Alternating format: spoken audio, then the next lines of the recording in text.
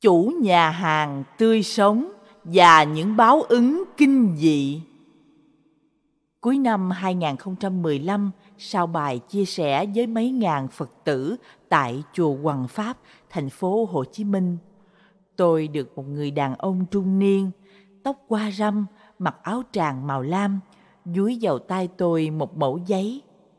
Về đến khách sạn, tôi mở ra đọc. Thưa nhà báo Hoàng Anh Sướng, tôi rất tâm đắc với những gì nhà báo chia sẻ sáng nay tại chùa Hoàng Pháp. Giá như tôi được gặp nhà báo sớm hơn thì cuộc đời tôi hạnh phúc biết bao.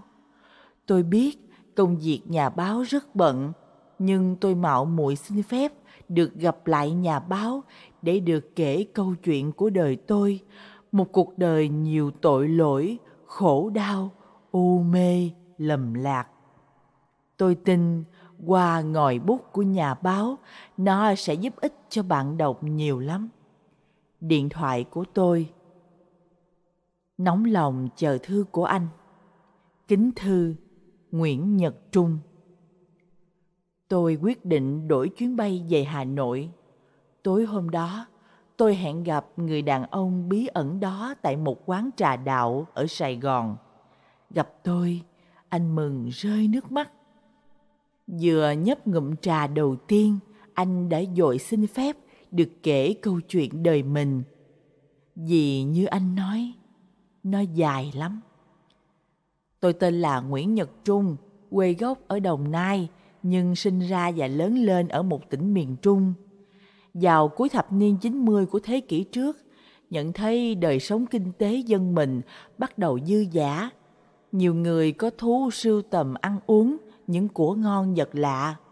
Tôi dốc toàn bộ vốn liếng, mở một nhà hàng thịt thú rừng đặc sản với ba tiêu chí ngon, độc, lạ. Nhà hàng bày trí sang trọng đẹp mắt, dàn nhân viên chân dài, da dẻ nõn nà.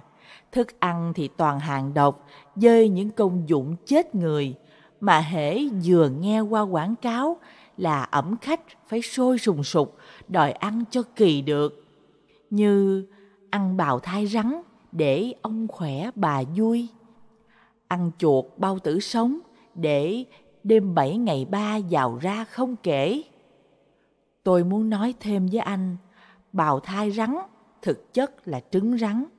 Bề ngoài giống như trứng chim cút nhưng có giá cắt cổ. Mỗi quả lên đến vài trăm ngàn đồng. Khi đập dở quả trứng sẽ thấy một con rắn bé tí như đầu đũa, ngon ngoe như con dung đất.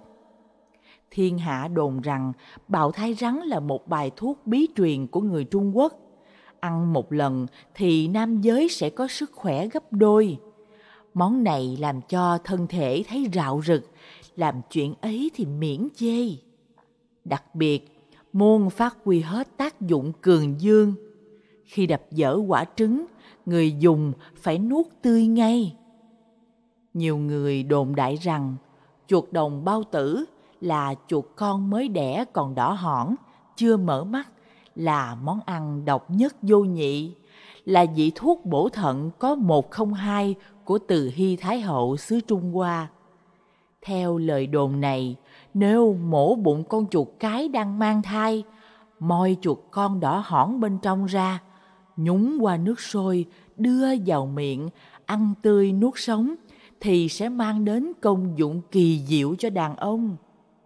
Sở dĩ có thể ăn tươi nuốt sống bởi chuột bao tử nằm trong bụng mẹ nên đảm bảo vệ sinh, an toàn tuyệt đối. Mùi vị cũng dễ ăn vì nó rất ngọt và béo ngậy. Ngoài món chuột chảo nước sôi ở trên, tôi còn rửa sạch chuột bao tử bằng rượu, cồn hoặc nước muối, mổ bỏ lòng ruột, đem ngâm rượu dơi một số vị thuốc bắc như ba kích, kỷ tử, đẳng sâm trong 2-3 tháng. Uống loại rượu này rất tốt cho sinh lực đàn ông. Nhưng món ăn động nhất, quý nhất tạo nên thương hiệu của nhà hàng chúng tôi chính là món ốc khỉ, thịt khỉ. Chẳng biết tự bao giờ rộ lên lời đồn rằng đây là món đại bổ, có tác dụng tuyệt vời để kích âm, cường dương và sức mạnh dược tính càng phát huy mạnh mẽ nếu mổ xẻ thú khi đang còn sống. Để tránh ăn phải ốc khỉ dỏm, khách đều yêu cầu nhà hàng phải giết mổ tại bàn để ăn ốc tươi. Cho nên, giữa mỗi bàn ăn, tôi đều khoét một lỗ vừa đủ cho chỏm đầu con khỉ nhô lên. Khỉ trước khi lên đầu đài đều được trói chặt, nhét dưới gầm bàn, đầu nhô lên khỏi lỗ khoét khoảng một phần ba. Phập, một nhát dao thật sắc, thật ngọt như tia chớp lia qua. Chỏm đầu con khỉ bay dèo, rớt xuống mặt bàn. Một tiếng rú mang dại như tiếng đứa trẻ thét lên. Chanh tươi dắt, hạt tiêu bỏ vào, thực khách tranh nhau dùng muỗng, múc ốc tươi lẫn máu đỏ tứa ra, nuốt ngòm ngoàm cùng rau răm, húng. Tiếng kêu rên thảm thiết của con khỉ càng kích thích đám thực khách. Cho đến lúc nó liệm đi, chết trong tột cùng đau đớn, ốc khỉ cũng sạch banh. Trên khóe miệng nhiều người còn dương máu. Để thỏa mãn sự hiếu kỳ của khách, tôi còn nghĩ ra đủ trò tra tấn, hành hạ, giết thịt các con vật khác tại bàn ăn. Càng giả mang, rùng rợn, khách càng thích thú. Cắt tiết canh dịch tại bàn, chặt đuôi bò hầm khi nó còn sống.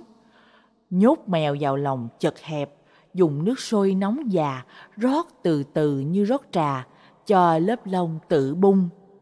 Xẻ từng lách thịt khi cá còn giấy đành đạch. Tôi chưa từng biết ghê tay trước cảnh giết mổ nào. Khách hàng càng phê, hú hét, tôi càng hứng những nhát dao xẻ thịt càng điệu nghệ. Năm 2000, tôi cưới vợ, một cô chân dài đẹp nức tiếng thành phố biển. Một năm sau, vợ tôi mang thai. Nghe thiên hạ đồn thổi về công dụng của thịt chó đối với việc nuôi dưỡng thai nhi. Mỗi tuần, tôi ép vợ ăn ba bữa. Đích thân tôi tuyển lựa những chú chó tơ ngon nhất tự tay tôi giết mổ, làm thịt, xào xáo rồi dâng lên tận miệng cho vợ xơi. Ăn được vài tháng, vợ tôi kêu. Anh ơi, em sợ lắm rồi, thịt chó rất là nóng, ăn vào con sẽ nổi đầy mụn nhọt, lắm lông và nhiều bớt xanh đen nữa. Giả lại em thấy cứ ác ác thế nào á. Con chó thân thiết với người ta là thế mà nỡ ăn thịt nó. Bữa trước bạn em còn bảo, ăn thịt chó nhiều khi mang bầu, sau này con dễ bị động kinh. Tôi gắt, dớ dẫn, đứa nào bảo thế, để anh giả dở mồm nó ra. Thịt chó ngon, bổ, nhiều đạm. Đây, em cứ nhìn bác lực hàng xóm nhà mình kia kìa. Chẳng ngày nào mà bác ấy không ăn thịt chó ngoài 60 mà bác ấy khỏe như dâm, người đô con như lực sĩ. Thôi, ráng ăn đi em cho con khỏe. Mang thai tròn 9 tháng 10 ngày, vợ tôi hạ sinh được một bé gái bụ bẩm, kháu khỉnh. Tôi mừng rớt nước mắt. Có điều, lúc tôi chìa tay ra bế, đứa trẻ bỗng khóc thét như vừa bị ai đánh rơi. Tôi càng dỗ về, ru nín, con bé càng khóc ngằn ngặt, khóc đến tím tái mặt mày. Kỳ lạ là đưa lại con cho vợ, chỉ ít phút con bé đã nín. Chuyển tay tôi, nó lại khóc ré lên. Vợ tôi bảo, chắc tại mình giết mổ nhiều, sát khí nặng nên con mới sợ đó. Trẻ sơ sinh, năng lượng còn mỏng manh yếu ớt. Thôi, thương con, mình chịu khó kiên gần con một thời gian từ đấy những lúc nhớ con tôi chỉ dám đứng xa ngắm con được hai tháng tuổi một hôm con bé bỗng lên cơn co giật sùi bọt mép da vàng ệt dội giả đưa cháu đến bệnh viện thành phố cấp cứu sau khi xem hình ảnh siêu âm bác sĩ kết luận. Cháu bị tắc ống mật, mật ngấm vào máu gây vàng da và niêm mạc. Di khuẩn phát triển trong đường mật gây nhiễm khuẩn đường mật, xâm nhập vào máu gây nhiễm khuẩn máu. Đây là giai đoạn rất nặng của mật, nguy cơ tử vong cao. Nghe bác sĩ nói vậy, vợ tôi khóc ầm lên. Còn tôi choáng váng như sét đánh ngang tai. Rất may, bệnh viện đã mời được vị bác sĩ giỏi, tu nghiệp từ Úc về. Con tôi được cứu sống. Đến tháng thứ năm, một hôm tắm cho con, vợ tôi phát hiện lưng con bé mọc rất nhiều lông. Lúc đầu chỉ lúng phúng. Mười ngày sau, lông mọc càng dài, khoảng 3-4 cm, cứng, có màu vàng, mềm mượt như lông khỉ, lông mọc lan cả xuống hai mông. Lo sợ, vợ chồng tôi ôm con đi khắp các bệnh viện trong Nam ngoài Bắc, nhưng các bác sĩ đều lắc đầu từ chối vì không biết rõ nguyên nhân của căn bệnh lạ. Nghe một sư cô giới thiệu ở trên đỉnh núi Cấm xã An Hảo, huyện Tịnh Biên, tỉnh An Giang, có một vị đạo sĩ dùng thuốc nam chữa bệnh như thần. Tôi tức tốc lên đường. Tôi vẫn nhớ đó là một buổi sáng khí trời lạnh buốt, sương giăng mịt mù. Chỉnh đốn hành trang cẩn thận, đem theo tấm bản đồ. Một mình bắt đầu cuộc hành trình leo núi. Dọc đường, ngước mắt nhìn lên chỉ thấy đỉnh núi cao dòi dọi, cây cối âm u, khói sương lãng bản. Đường càng lúc càng gập ghềnh, miết mãi trèo đèo lội suối, trời đã gần trưa mà vẫn chưa thấy hình bóng của vị đạo sĩ. Khổ hạnh kia, lòng không khỏi băn khoăn. Đưa mắt nhìn quanh, bỗng nghe thấy tiếng mỏ vọng đến chậm rãi, khoan thai. Cốc, cốc, cốc. Tinh thần phấn chấn trở lại, tôi hăm hở, nhắm hướng sơn cốc tiến tới. Rẽ vào con đường hung hút sâu, trên cao bồng bềnh mây phủ, cây cối xanh mướt như chốn bồng lai. Tiếng mỏ chậm dần rồi ngưng hẳn, một dòng suối trong xanh uốn khúc hiện ra trước mắt. Tôi khom mình dốc nước uống, hương vị mát lạnh thanh lương đến thơm cả miệng. ngẩng đầu lên, tôi bỗng giật mình phát hiện có người đứng bên bờ suối. Nhìn kỹ, thấy một cụ già, tóc búi củ hành, râu bạc như cước, dẫn bộ quần áo lụa màu trắng. Một cơn gió thoảng qua, râu tóc, tà áo ông phơ phất, ánh mắt hiền từ, thần thái cốt cách như một tiên ông. Bỗng dưng tôi có cảm giác ông gần gũi quá, quen thuộc quá, cứ như là ông bà, cha mẹ tiền kiếp của mình. Xin cụ làm ơn chỉ đường cho con đến nhà thầy Tê. Tôi đây, anh đến để nhờ chữa bệnh cho con gái anh chứ gì. Tôi ra đón anh đây. Tôi giật mình, quái lạ, đây là lần đầu tiên tôi lên chốn thâm sơn cùng cốc này, cũng là lần đầu tiên gặp cụ. Sao cụ lại biết tôi lên đây tìm cụ chữa bệnh cho con? Đang dần gì suy nghĩ, cụ tiến lại gần, nhìn sâu vào mắt tôi rồi hỏi. Trước đây, anh có giết thịt con khỉ lông vàng, trên lưng có đốm đen nào không? Chính con khỉ đó đã đầu thai làm con anh, tìm anh mà báo quán đó. Tôi lại giật mình, mồ hôi túa ra như tắm. Đúng là cách đây ba năm, tôi có làm thịt con khỉ lông vàng, trên lưng có đốm đen cho nhóm khách quen là các quan chức của huyện. Lúc lôi nó từ trong lồng ra làm thịt, con khỉ cứ chấp tay lại tôi, lạy cả đám quan chức đang háo hức ngồi chờ ăn món ốc khỉ đại bổ. Nhưng như thế thì vô lý quá. Trước tiên, con khỉ phải tìm kẻ bắt nó mà báo quán chứ. Là đám quan chức lắm tiền nhiều của. Bọn họ ăn thịt khỉ nhiều hơn con mà.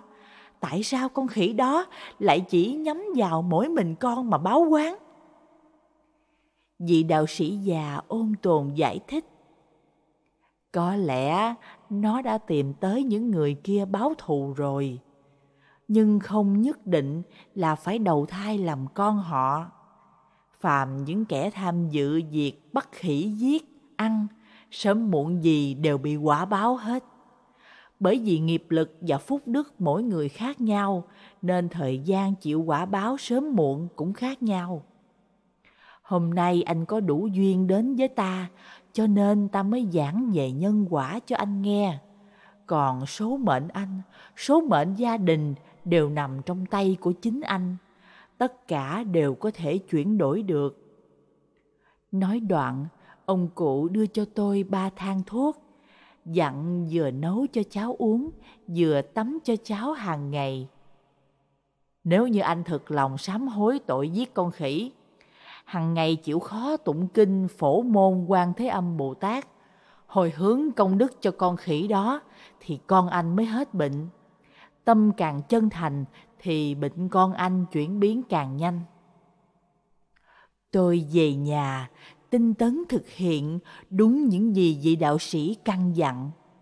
Kỳ lạ thay, 10 ngày sau, con tôi rụng hết lông da dẻ nhẵn nhụi như trước. Nhà hàng mở cửa lại, khách đến ăn lại đông nườm nượp, tiền lại giàu như nước. Ngày ngày, tôi lại quay cuồng trong những trò chém giết, mổ thịt, lột da, mua vui cho khách. Cho đến năm 2004, quả báo dồn dập ập đến với tôi. Mở đầu là cái chết tức tưởi của ông ngoại vợ tôi. Hôm ấy nghe tin ông ngoại lên cơn hen suyễn, vợ chồng tôi về thăm, mang theo cặp lòng, cháo nấu với món ốc khỉ. Tôi tự tay đút cho ông. Ai dè, xúc đến thìa thứ ba, ông cụ bị nghẹn, mắt trợn ngược, mặt tím tái, nước mắt vàng dụa, người co cứng. Vài phút sau, ông chết trên tay tôi. Cả nhà vợ quán hận vì tôi mà ông chết. Cơn hận chưa nguôi.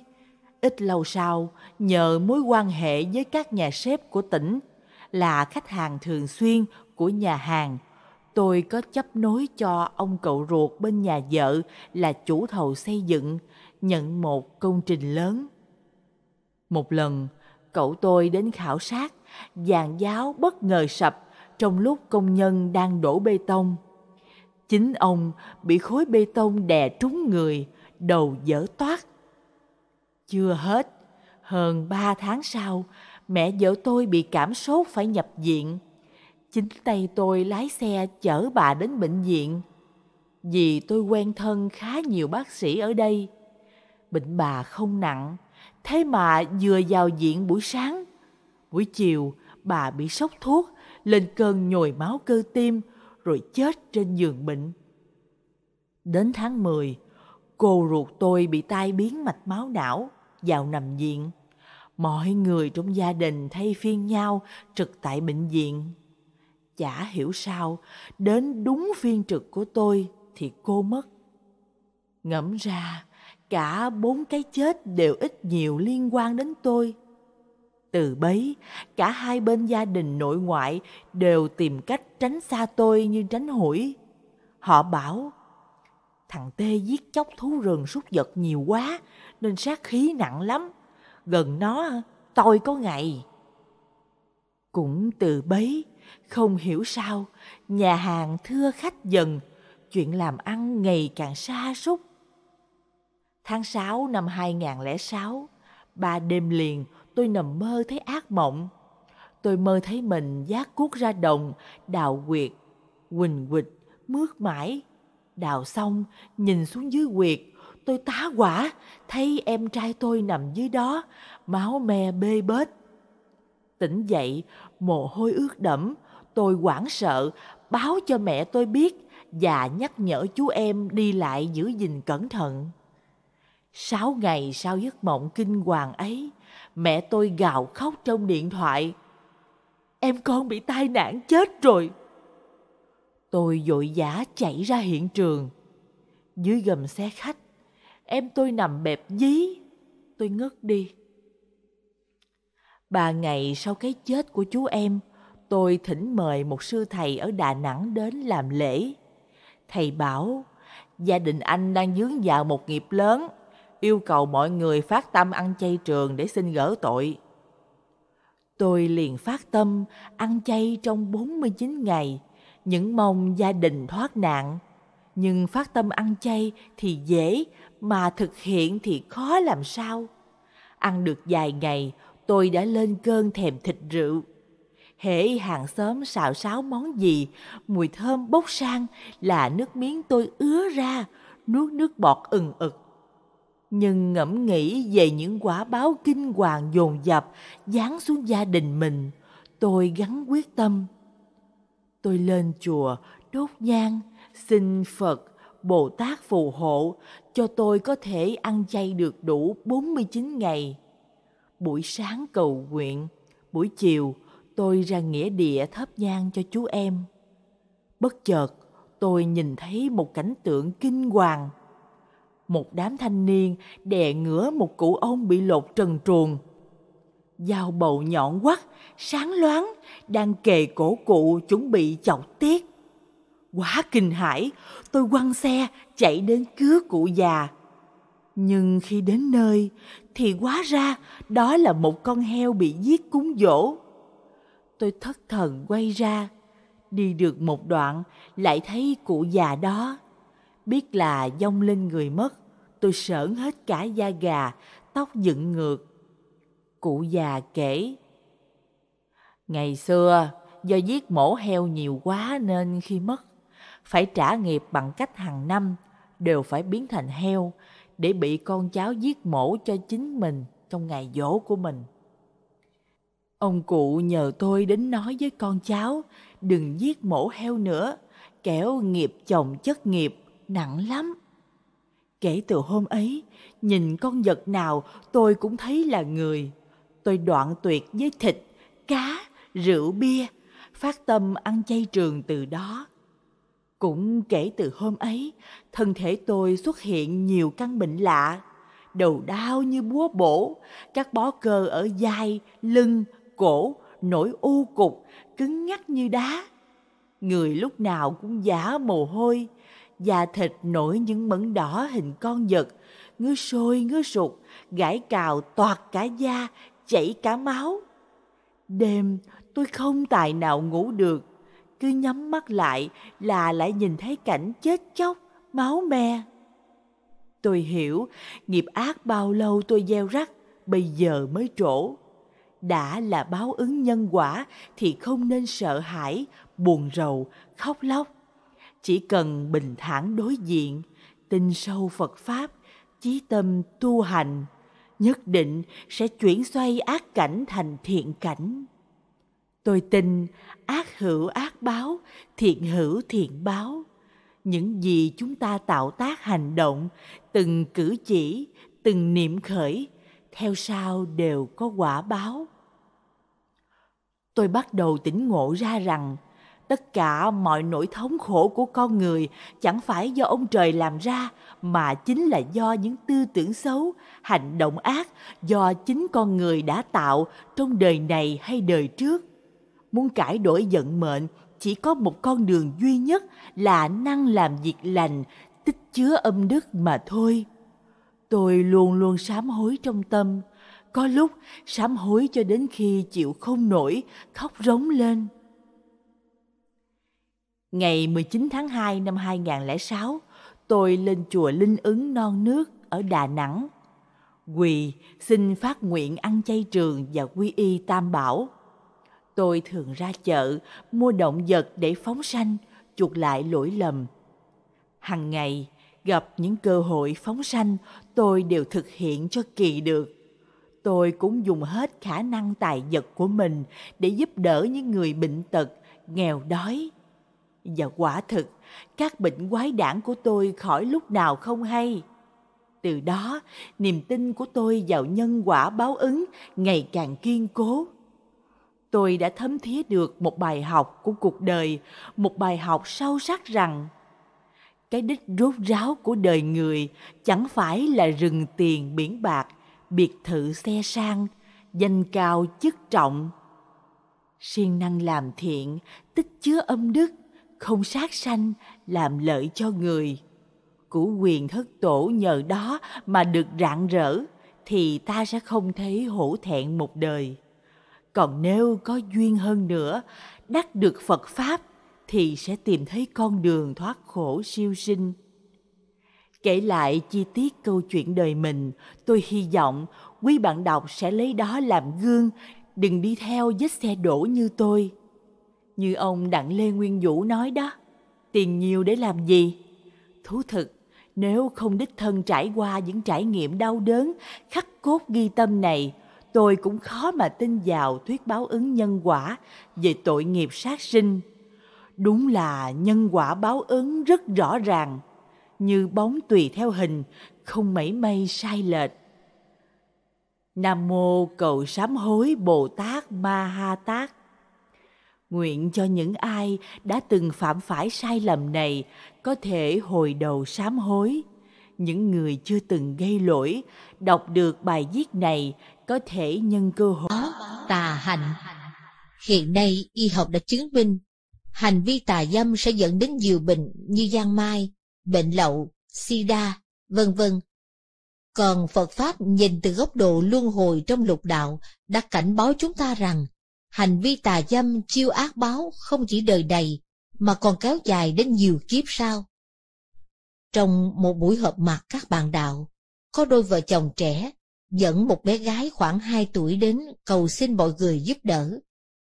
Cha mẹ bé khóc lóc kể lễ con gái mình bất hạnh như thế nào. Nguyên bé gái này chỉ mới có 2 tuổi nhưng bị chứng bệnh ung bú ác tính nan y. Nghiêm trọng hơn nữa là ung bú mọc rất to ngay tại âm đạo. Song thân của bé như bị sét đánh vào đầu, không sao hiểu được lý do. Bé chỉ mới có hai tuổi, vì sao lại vướng phải bệnh nặng như thế này? Đáng sợ hơn nữa là bác sĩ bảo rằng muốn trị bệnh này chỉ có nước phẫu thuật, nhưng xác suất thành công rất thấp. Mà nếu không mổ, thì bệnh phát tác sẽ làm nguy tới tính mạng. Vì vậy, cặp vợ chồng trẻ này rất khổ tâm, nghĩ hết cách, cũng không biết làm sao cho ổn. Bé gái, khi bị bệnh hành rất đau đớn, cầu sống không được, cầu chết cũng không xong, khiến cho người thân phiền muộn, đầy lòng, cũng đắm chìm trong thống khổ vô biên. Tôi và các bạn cư sĩ rất cảm thông cho bé. Càng tin sâu, đây chính là nghiệp báo trọng tội đang hiển hiện. Tôi quan sát một hồi, thì phát hiện ra nguyên nhân.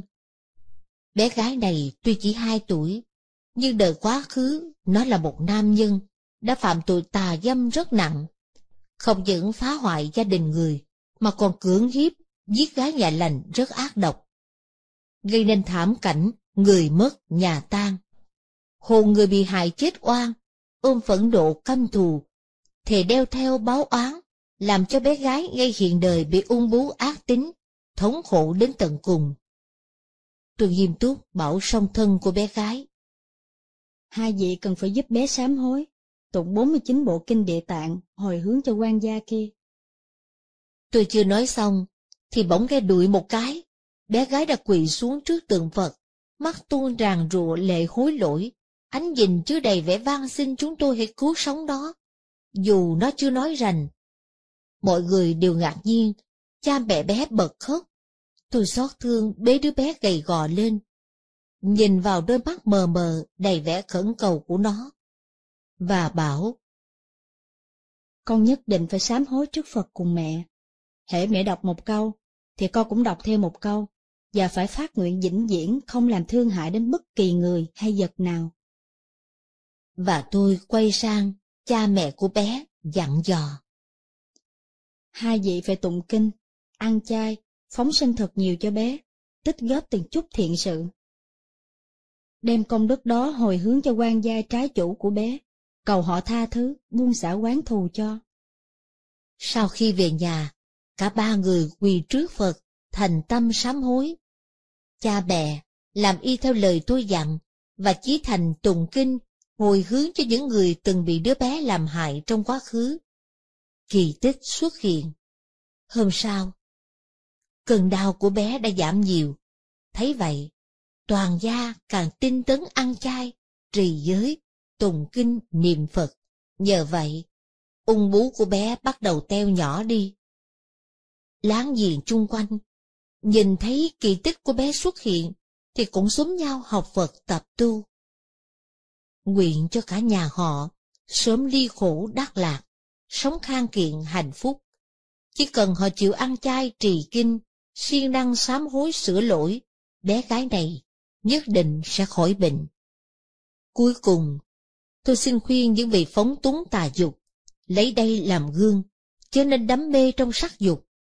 Làm vậy là hại mình, hại người. Đời này không những khiến thân thể suy yếu, yếu mệnh, mà đời sau còn mắc đủ ác bệnh, thậm chí còn bị đọa vào địa ngục, súc sinh, thọ đủ thống khổ. Thân người khó được, xin hãy biết quý. Sống lại Cư sĩ Tịnh Hằng từ nhỏ, nếp sống gia đình nghèo khó, nếm đủ bức bách, gian nan. Đến khi trưởng thành, có được sinh hoạt như ý, thì ông lại nhân đó mà tạo nhiều ác nghiệp, khiến cuộc sống tái phát đủ điều bất hạnh. Mãi đến khi ông tiếp xúc được với Phật Pháp, biết nghe kinh tu tập, nghiêm trì dưới luật, đoàn ác tu thiện, thì ông mới có được hạnh phúc, tái tạo cuộc đời mới, sống lại lần nữa. Chúng ta hãy nghe ông thổ lộ những lời chân thành tận đáy lòng. Tôi sinh ra tại một tiểu trấn hẻo lánh thuộc tỉnh Tô Giang phố Dương Châu. Lúc còn nhỏ, cuộc sống nhà tôi tương đối khó khăn. Từ lúc có ký ức, tôi nhớ phụ thân mình là cán bộ công xã. Ông là người hào sản, nhanh mồm lẹ miệng, thẳng thắn, có rất nhiều bạn nhậu. Nên trong nhà thường có khách lui tới. Phụ thân tôi là một cán bộ trụ chè bê tha. Khi tôi lên trung học, thì do những mâu thuẫn trong nội bộ cơ quan, ông bị khai trừ, cách chức. Việc này đã làm ảnh hưởng và thay đổi số mệnh của cả nhà chúng tôi. Do quan lộ bất như ý, nên phụ thân của tôi suốt ngày thở vắng than dài, giống như biến thành một con người khác vậy. Mẹ tôi cũng thành là chỗ cho ông trút giận. Để lấy lại thể diện đã mất, phụ thân của tôi chẳng thèm nghe lời mẹ tôi năn nỉ quyên lơn. Ông đi mượn giai thân thuộc, mở một lò than. Không bao lâu, lò hầm than làm ăn thất bại phải đóng cửa. Phụ thân của tôi không những chẳng thu về được một xu nào, còn khiến gia đình chúng tôi lâm vào cảnh bần cùng cực điểm. Vì cả nhà phải gánh lấy món nợ kết xù, tới một dạng năm ngàn đồng. Vào năm 1981, cái thời đó, thì đây là một con số kinh khủng. Nhà tôi căn bản là vô phương trả. Mẹ tôi càng tiêu tụy, buồn rầu, khi chứng kiến chồng làm ăn thất bại. Đối diện với cái nghèo rớt mồng tơi của gia đình, không mong gì có thể ngóc đầu lên. Trong cơn tuyệt vọng, đã mấy lần mẹ tôi muốn quyên sinh để kết thúc cuộc đời đau khổ. Nhưng ngoảnh lại nhìn đám con còn quá nhỏ, bà đành nuốt lại ráng sống, không nỡ bỏ mặt chúng tôi. Khi đó bốn mẹ con tôi ôm nhau mặt khóc. Kiệt không biết đường nào để đi, ngõ nào để sống nữa. Mỗi khi sắp đến Tết, nhà nhà đều hớn hở chuẩn bị năm mới. Chỉ riêng cô nhà chúng tôi là điều hiu, lại còn phải đóng chặt cửa nữa. Trong khi ở bên ngoài, chủ nợ hung hăng, hét đòi, cả nhà thì bị lăng nhục đủ lời, đủ kiểu. Cần thấm thía, thế thái nhân tình, bạc bẽo quá. Cha tôi cũng nhân đây mà biến thành một con người trầm mặc ít nói, buồn phiền, không nguôi luôn. Sau đó mẫu thân của tôi dẫn tôi và anh hai đi đến từng nhà cầu xin thông cảm. Bà vừa đi vừa khóc và nói, tiền thiếu các vị chúng tôi nhất định sẽ trả. Tôi xin dùng tánh mạng của mình để đảm bảo. Trong cái cơn gió lạnh, mẹ tôi rơi lệ đầy mặt. Còn tôi và anh tôi thống khổ đến nghẹt thở. Lúc đó tôi mới có 17 tuổi. Toàn bộ sinh hoạt gia đình đều trút hết vào đôi vai gầy yếu của mẹ tôi. Sau đó, quốc gia cải cách, mở mang chính sách. Tôi cũng tham gia công tác. Cả nhà chúng tôi đồng tâm hiệp lực, dốc hết sức làm lụng. Cuối cùng cũng trả hết nợ, và còn để giành được chút ít. Từ đó cuộc sống bắt đầu đi lên, và tôi vào làm cán bộ ở cơ quan. Vậy là nề nếp sinh hoạt phóng túng lại bắt đầu nữa. Do tôi nghĩ hồi nhỏ mình nghèo quá. Bây giờ cuộc sống tốt lên rồi, thì cũng hưởng thụ chút cho nó đã chứ. Vậy là tôi lao mình vào cuộc ăn chơi đàn điếm, ngày ngày nhậu nhẹt bí tỉ đến say mềm. Diễn đủ thói hư tật xấu hết trơn á. Hút thuốc nè, uống rượu nè, bài bạc, sát sinh, tà dâm nữa. Tôi còn ăn tươi nuốt sống động vật. Không ác nào bằng tôi không làm. Tôi phạm rất là nhiều điều tệ ác. Vậy là con đường quan lộ bắt đầu không hanh thông rồi. Không những tôi bị cơ quan giáng chức, mà trong gia đình luôn xào xáo. Vợ chồng cây cãi um sùm, con cái thì học tập xa suốt cực độ. Sau khi bị mất chức, tôi dời nhà đến vô dương, mở một tiểu điếm, duy trì kế sống. Mặt trời cứ mọc rồi lặn. Cứ vậy ngày qua ngày, cuộc sống của tôi vẫn như xưa, không có gì khởi sắc. Tôi bắt đầu thở vắng than dài, khi nhận ra được tình cảnh mình giống hệt như phụ thân của tôi hồi xưa. Hôm nọ, ở dưới lầu chúng tôi tình cờ gặp một cư sĩ, nay là sư huynh của tôi. Ông kể cho tôi nghe các chuyện về Phật giáo và tặng tôi một cuốn sách Biển Giác Thuyền Từ, tức là Giác Hải Từ Hàng, và một cuốn kinh Phật Thuyết Vô Lượng Thọ. Vừa vào nhà là tôi nôn nóng mở ra xem liền. Hai cuốn sách này thu hết chú tâm của tôi giống như 500 hút sắt vậy đó. Tôi xem một lèo là hết ngay. Lúc này trời cũng đã sáng. Từ đó, tôi đối với các điểm tích Phật giáo rất ưa thích. Xem không rời tay, tôi còn nỗ lực tinh tấn hành theo nữa. Tôi thầm phát nguyện, Phật Pháp có khó nghe, thì con cũng đã nghe được. Đời này con nhất định nguyện tu sửa, cho liễu sinh thoát tử mới thôi. Kể từ đó, tôi theo sư huynh bước vào con đường học Phật. Nhìn thấy tôi thay đổi tốt lên từng ngày. Vợ và con của tôi cũng rất là ngưỡng mộ, hớn hở gia nhập hàng ngũ tu tập theo. Cả nhà chúng tôi may mắn biến thành một gia đình Phật quá. Tôi và vợ đồng phát nguyện. Từ nay thể dứt ăn mặn, nguyện ăn chay vĩnh viễn. Tôi còn quyết định bỏ hút thuốc luôn nữa. Kỳ lạ là hồi trước tôi cũng từng cai, từng bỏ thuốc nhiều lần rồi. Nhưng mà càng bỏ lại càng thèm. Nhưng mà lần này lạ nghe. Tôi có thể từ bỏ với tâm hết sức thanh tịnh, nhẹ nhàng thư thái, triệt để dứt khoát luôn. Điều này khiến tôi vừa mừng vừa xúc động. Quả là chư Phật Bồ Tát từ bi không bỏ một chúng sinh nào hết. Hiện nay, hàng ngày tôi kiên trì tụng kinh, bái Phật, niệm Phật, chép kinh nữa. Mỗi ngày vào mùng một với ngày rằm, thì tôi hướng dẫn gia đình đi phóng sinh nè, làm nhiều việc thiện, đồng thời còn đối chiếu theo kinh Phật dạy, lo kiểm điểm từng hành vi tạo tác của mình nữa.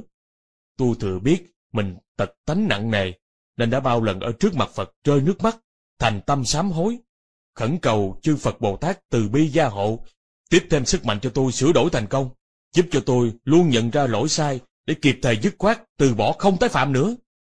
Kể từ sau khi học Phật, suốt mấy năm trì giới hành thiện, số mệnh tôi đã chuyển tốt. Có rất nhiều khách nghe danh ngưỡng mộ tìm đến bàn việc làm ăn, tới giờ vẫn còn hợp tác nữa. Hiện nay tôi còn mở thêm một chi nhánh, công việc rất là phất. Kể từ lúc ăn chay rồi, huyết áp của tôi không có cao, chứng mất ngủ cũng hết luôn. Cái chứng liệt nhẹ dần dần cũng khỏi nữa. Sức khỏe cả nhà tốt lên rất là nhiều. Kể cả cha mẹ của tôi ở Diễn Phương Dương Châu, thân thể cũng rất là khang kiện. Từ lúc học Phật cho đến bây giờ, người xung quanh rất quý mến tôi, quý trọng tôi ngày ngày càng nhiều đó. Mỗi ngày qua, tâm tư của tôi rất là thư thái. Trọn ngày làm việc mà không thấy mệt. Sinh hoạt thì luôn điều chỉnh tốt, ngủ dậy sớm. Hàng ngày, hạnh phúc nhất là được ở trước mặt Phật đường, tụng kinh bái Phật, Pháp hỷ sung mãn. Phật Pháp thật là càng hiểu càng thú vị. Con trai của tôi cũng thay đổi rất là mạnh. Ngày xưa tính nó rất là hướng nội, tự kỷ lắm. Nhưng bây giờ nó siêng năng tụng kinh. Kinh địa tạng, nó không từ bỏ một ngày nào hết. Tính tình của nó vui vẻ, cởi mở dị tha. Công việc của chúng tôi á, thì à, tùy theo ước muốn mà tự thành. Vợ tôi cũng uh, tinh tấn tu hành. Cả nhà chúng tôi đều được Phật Pháp tẩy gọi, sống rất là hòa thuận vui vẻ. Đồng hưởng hạnh phúc, tự tại, sướng lắm. Ta nói Phật Pháp kỳ thực, uh, nó kỳ diệu lắm. Là Pháp bảo sáng tạo hạnh phúc thần kỳ ở dân gian hay sao đó. Tôi xin lấy kinh nghiệm của bản thân mình làm chứng, để chia sẻ và mách cùng quý vị nè. Các vị hãy tránh ác, hành thiện, thường kiểm điểm lỗi sai, để thiện quá thân tâm, cẩn trọng răng dè, giữ gìn thân, khẩu ý trong từng hành vi. Hãy phát nguyện, nghiêm trì với giới luật, không nên tùy tiện phóng vật, mà xa vào lưới tà, nghiệt ác đó. Tôi mong rằng à, câu chuyện có thật của mình sẽ khích lệ, giúp ích cho mọi người. Ha! Mong các vị trong những ngày tháng còn sống này, ai cũng phát tâm, tinh tấn học Phật, tu hành, tự độ mình, độ người. Tôi mong mọi người đều thoát khỏi phiền não đau khổ, vượt qua biển lớn sinh tử, đến bờ giác thanh tịnh, tịnh hằng. Phật giáo ban cho ta nền giáo dục u mỹ, giúp nhân loại chuyển hóa số bệnh bản thân cực kỳ hữu hiệu. Nếu như người người đều biết có thể y pháp phụng hành, thì ai cũng có được hạnh phúc trong kiếp nhân sinh. Tây Du Ký và Phong Thần Dạ thưa sư phụ, nghe ngài phân tích nhận định truyện Bạch Xà, con cảm thấy rất có lý. Hiện tại, con còn vài vấn đề muốn thỉnh giáo sư phụ. Uhm, Tây Du Ký là một bộ truyện trứ danh, rất được quần chúng ưa thích và đã dựng thành phim, được bao nhiêu người là quan nghênh. Nhưng hồi nhỏ lúc mà con coi phim á, con cảm thấy đường tăng quá khiếp nhược yếu đuối. Mà tại sao Bồ Tát Quan Âm lại bảo Tôn Ngộ không bái ông làm thầy? Hơn nữa, còn truyền chú cẩn cô cho đường tăng để trị kẻ chuyên phạt ác dương thiện như là Tôn Đệ Thánh. Đường tăng không tài giỏi hơn, sao có thể giáo hóa đồ đệ chứ? Câu chuyện này theo quan điểm Phật giáo, um, phải giải thích như thế nào để sư phụ? Hòa thượng Diệu Pháp đáp Tôi cho rằng nếu hiểu Phật Pháp, thì nên giải thích Tây Du Ký như thế này. Như trong sách đã nêu, bản thân đường tăng theo Pháp tiểu thừa. Cho nên Bồ Tát Quán Thế Âm mới hóa hiện thành một lão hòa thượng chỉ điểm. mắt cho đường tăng nên đi Tây Phương bái kiến Phật tổ, xin thịnh kinh Đại Thừa. Đường đi Tây Thiên thịnh kinh thực tế là con đường mà Ngài Quyền Trang tu hành, tự độ và độ người. Nhưng đường tu không bao giờ bằng phẳng, luôn có đầy gian nan hiểm trở. Ba đồ đệ đi theo đường tăng là đại diện cho ba loại ác tập, tham, sân, si của mỗi chúng sinh. Trư bát giới đại diện cho người tham dục trầm trọng tham tài tham sắc tham danh tham lợi tham ăn tham ngủ vì vậy mới bắt ông giữ tám giới hàm ý rằng chỉ có giữ giới mới dập tắt tham dục chỉ có giữ giới mới hoạch đắc trí huệ cho nên gọi là ngộ năng tu ngộ không là đại diện cho những kẻ hành sự có trách nhiệm bổn phận, có tài. Nhưng khí sân rất lớn.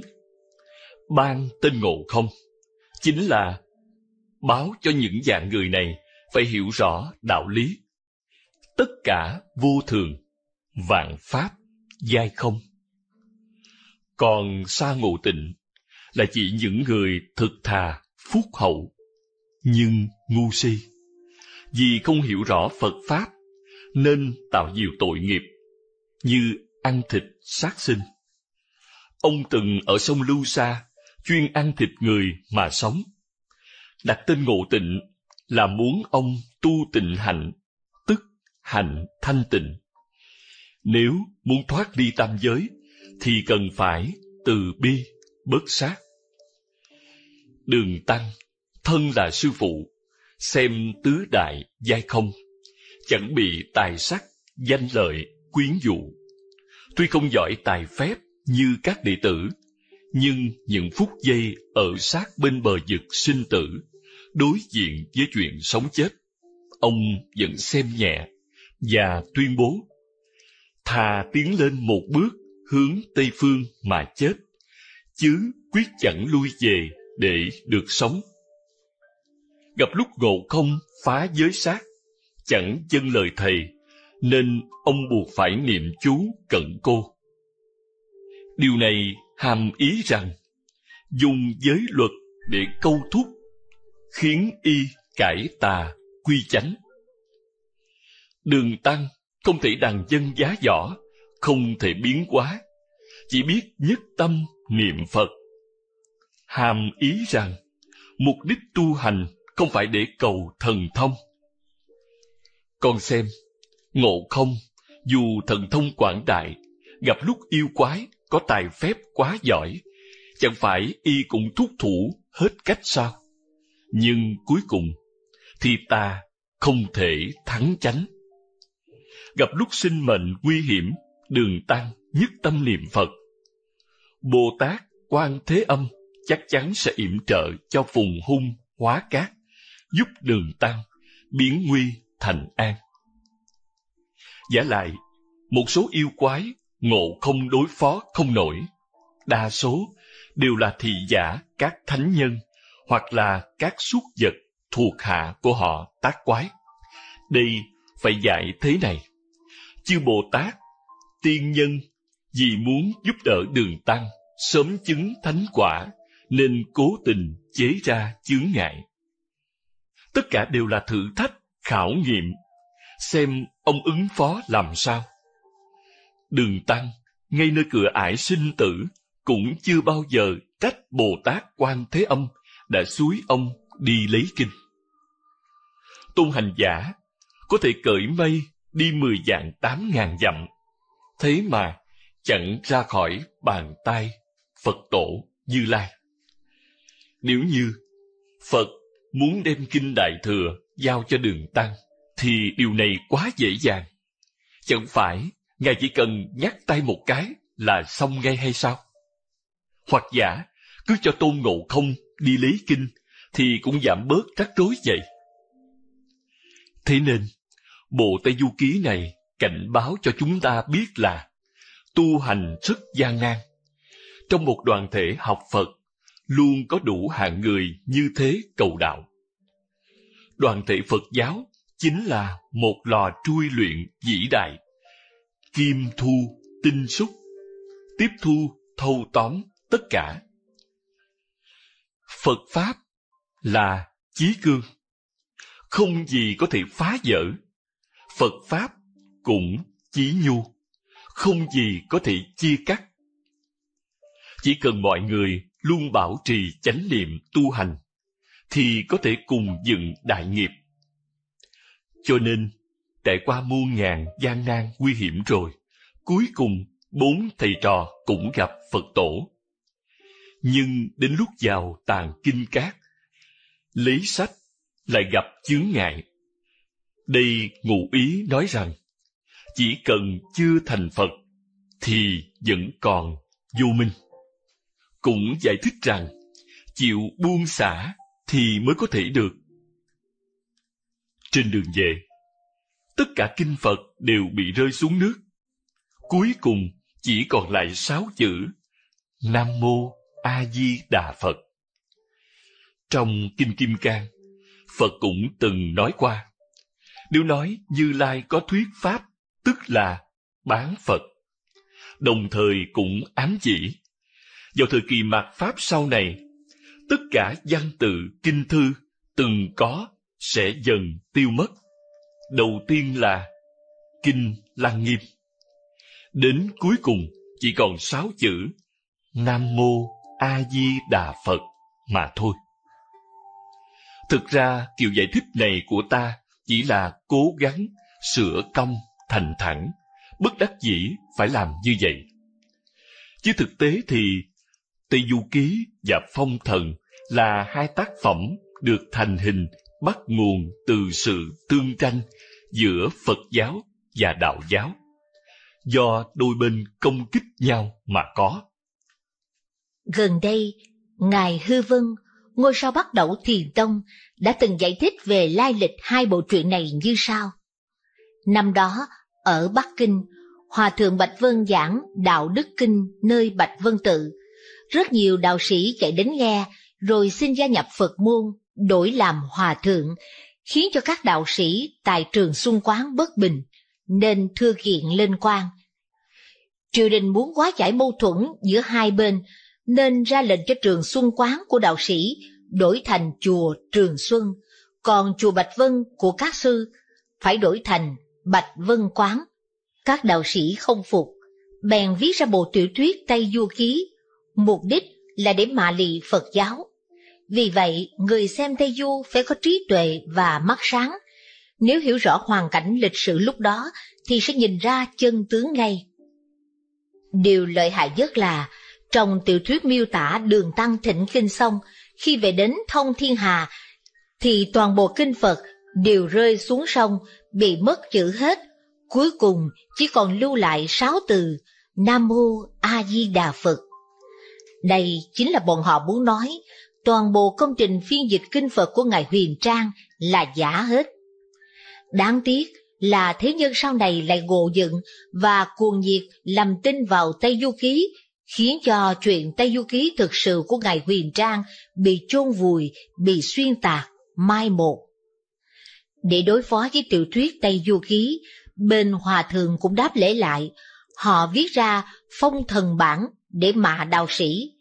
Nhìn theo quan điểm này thì sẽ nhận ra trong chuyện chỗ chỗ đều là mạ đạo sĩ. Chẳng hạn như nói đạo sĩ tu tiên, tất nhiên có công phu, nhưng thảy đều lần lượt bị đao tru tiên hành hình. Người xem hai bộ tiểu thuyết này nếu không hiểu rõ bối cảnh lịch sử Phật giáo và đạo giáo tương tranh ngày ấy thì sẽ ngộ nhận làm cho giả là thiệt. Vì vậy, đọc sách cần phải sáng trí, khéo nhìn rõ đúng sai, giỏi phân biệt tà chính. Chú thích Xin hãy đọc lời giảng giải, khai thị của Ngài Hư Vân, còn trong đây chỉ là lời giải thích của Hòa Thượng Diệu Pháp. Ngài còn đề nghị chúng ta nên đọc kỹ Kinh Lăng Nghiêm để có đủ trí tuệ và con mắt sáng, giỏi phân biệt chánh tà, phải quấy. Chúng ta nên đọc nhiều tác phẩm do chính chư Đại Đức Cao Tăng sáng tác mới có thể khai mở trí tuệ cho mình. Tháng 6. Tuyết rơi Trước đây tôi luôn cho rằng câu chuyện này là kịch bản hư cấu nổi tiếng do Quan Hán Khanh sáng tác. Nào ngờ lại là chuyện thật. Bảy tám năm trước, thông qua một tu sĩ trong dàn Phật Thành, tôi được đến Đài Loan nghe trương giáo sư thuật lại tỉ mỉ các việc lạ lùng mà bà đã trải qua. Ba mươi năm trước, bà làm công tác từ thiện tại Đài Loan, chuyên tư vấn tâm lý, là người tiên phong vực dậy trào lưu tốt cho xã hội. Vì vậy mà các ủy viên công tác từ thiện ở Đài Loan đều gọi bà là Trương Giáo Sư.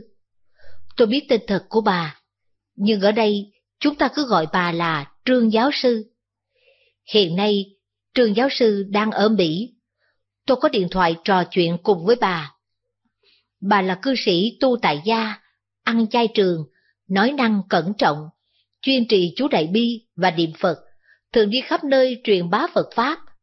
Hiện nay, bà hơn 70 tuổi. Trước khi kể chuyện mình, trường giáo sư đã mở đầu như sau. Những việc xảy ra cho tôi có nhiều linh dị.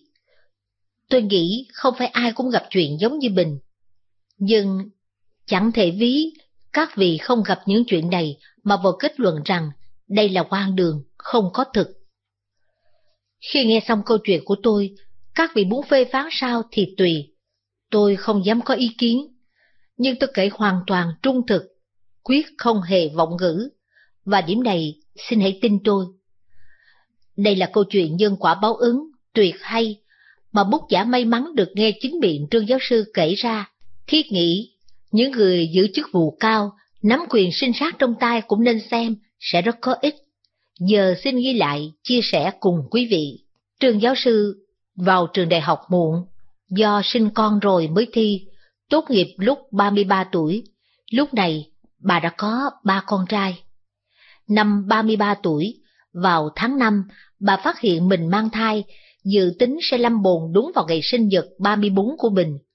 Khi mẫu thân bà hay tin này, thì kiên quyết yêu cầu bà phá thai. Thấy mẹ mình xưa nay tin thờ Phật, lại ăn chay nhiều năm, luôn giữ giới bớt sát nghiêm nhặt. Nhưng vì sao bây giờ lại yêu cầu mình phá thai? Bà Trương cảm thấy rất kỳ quái.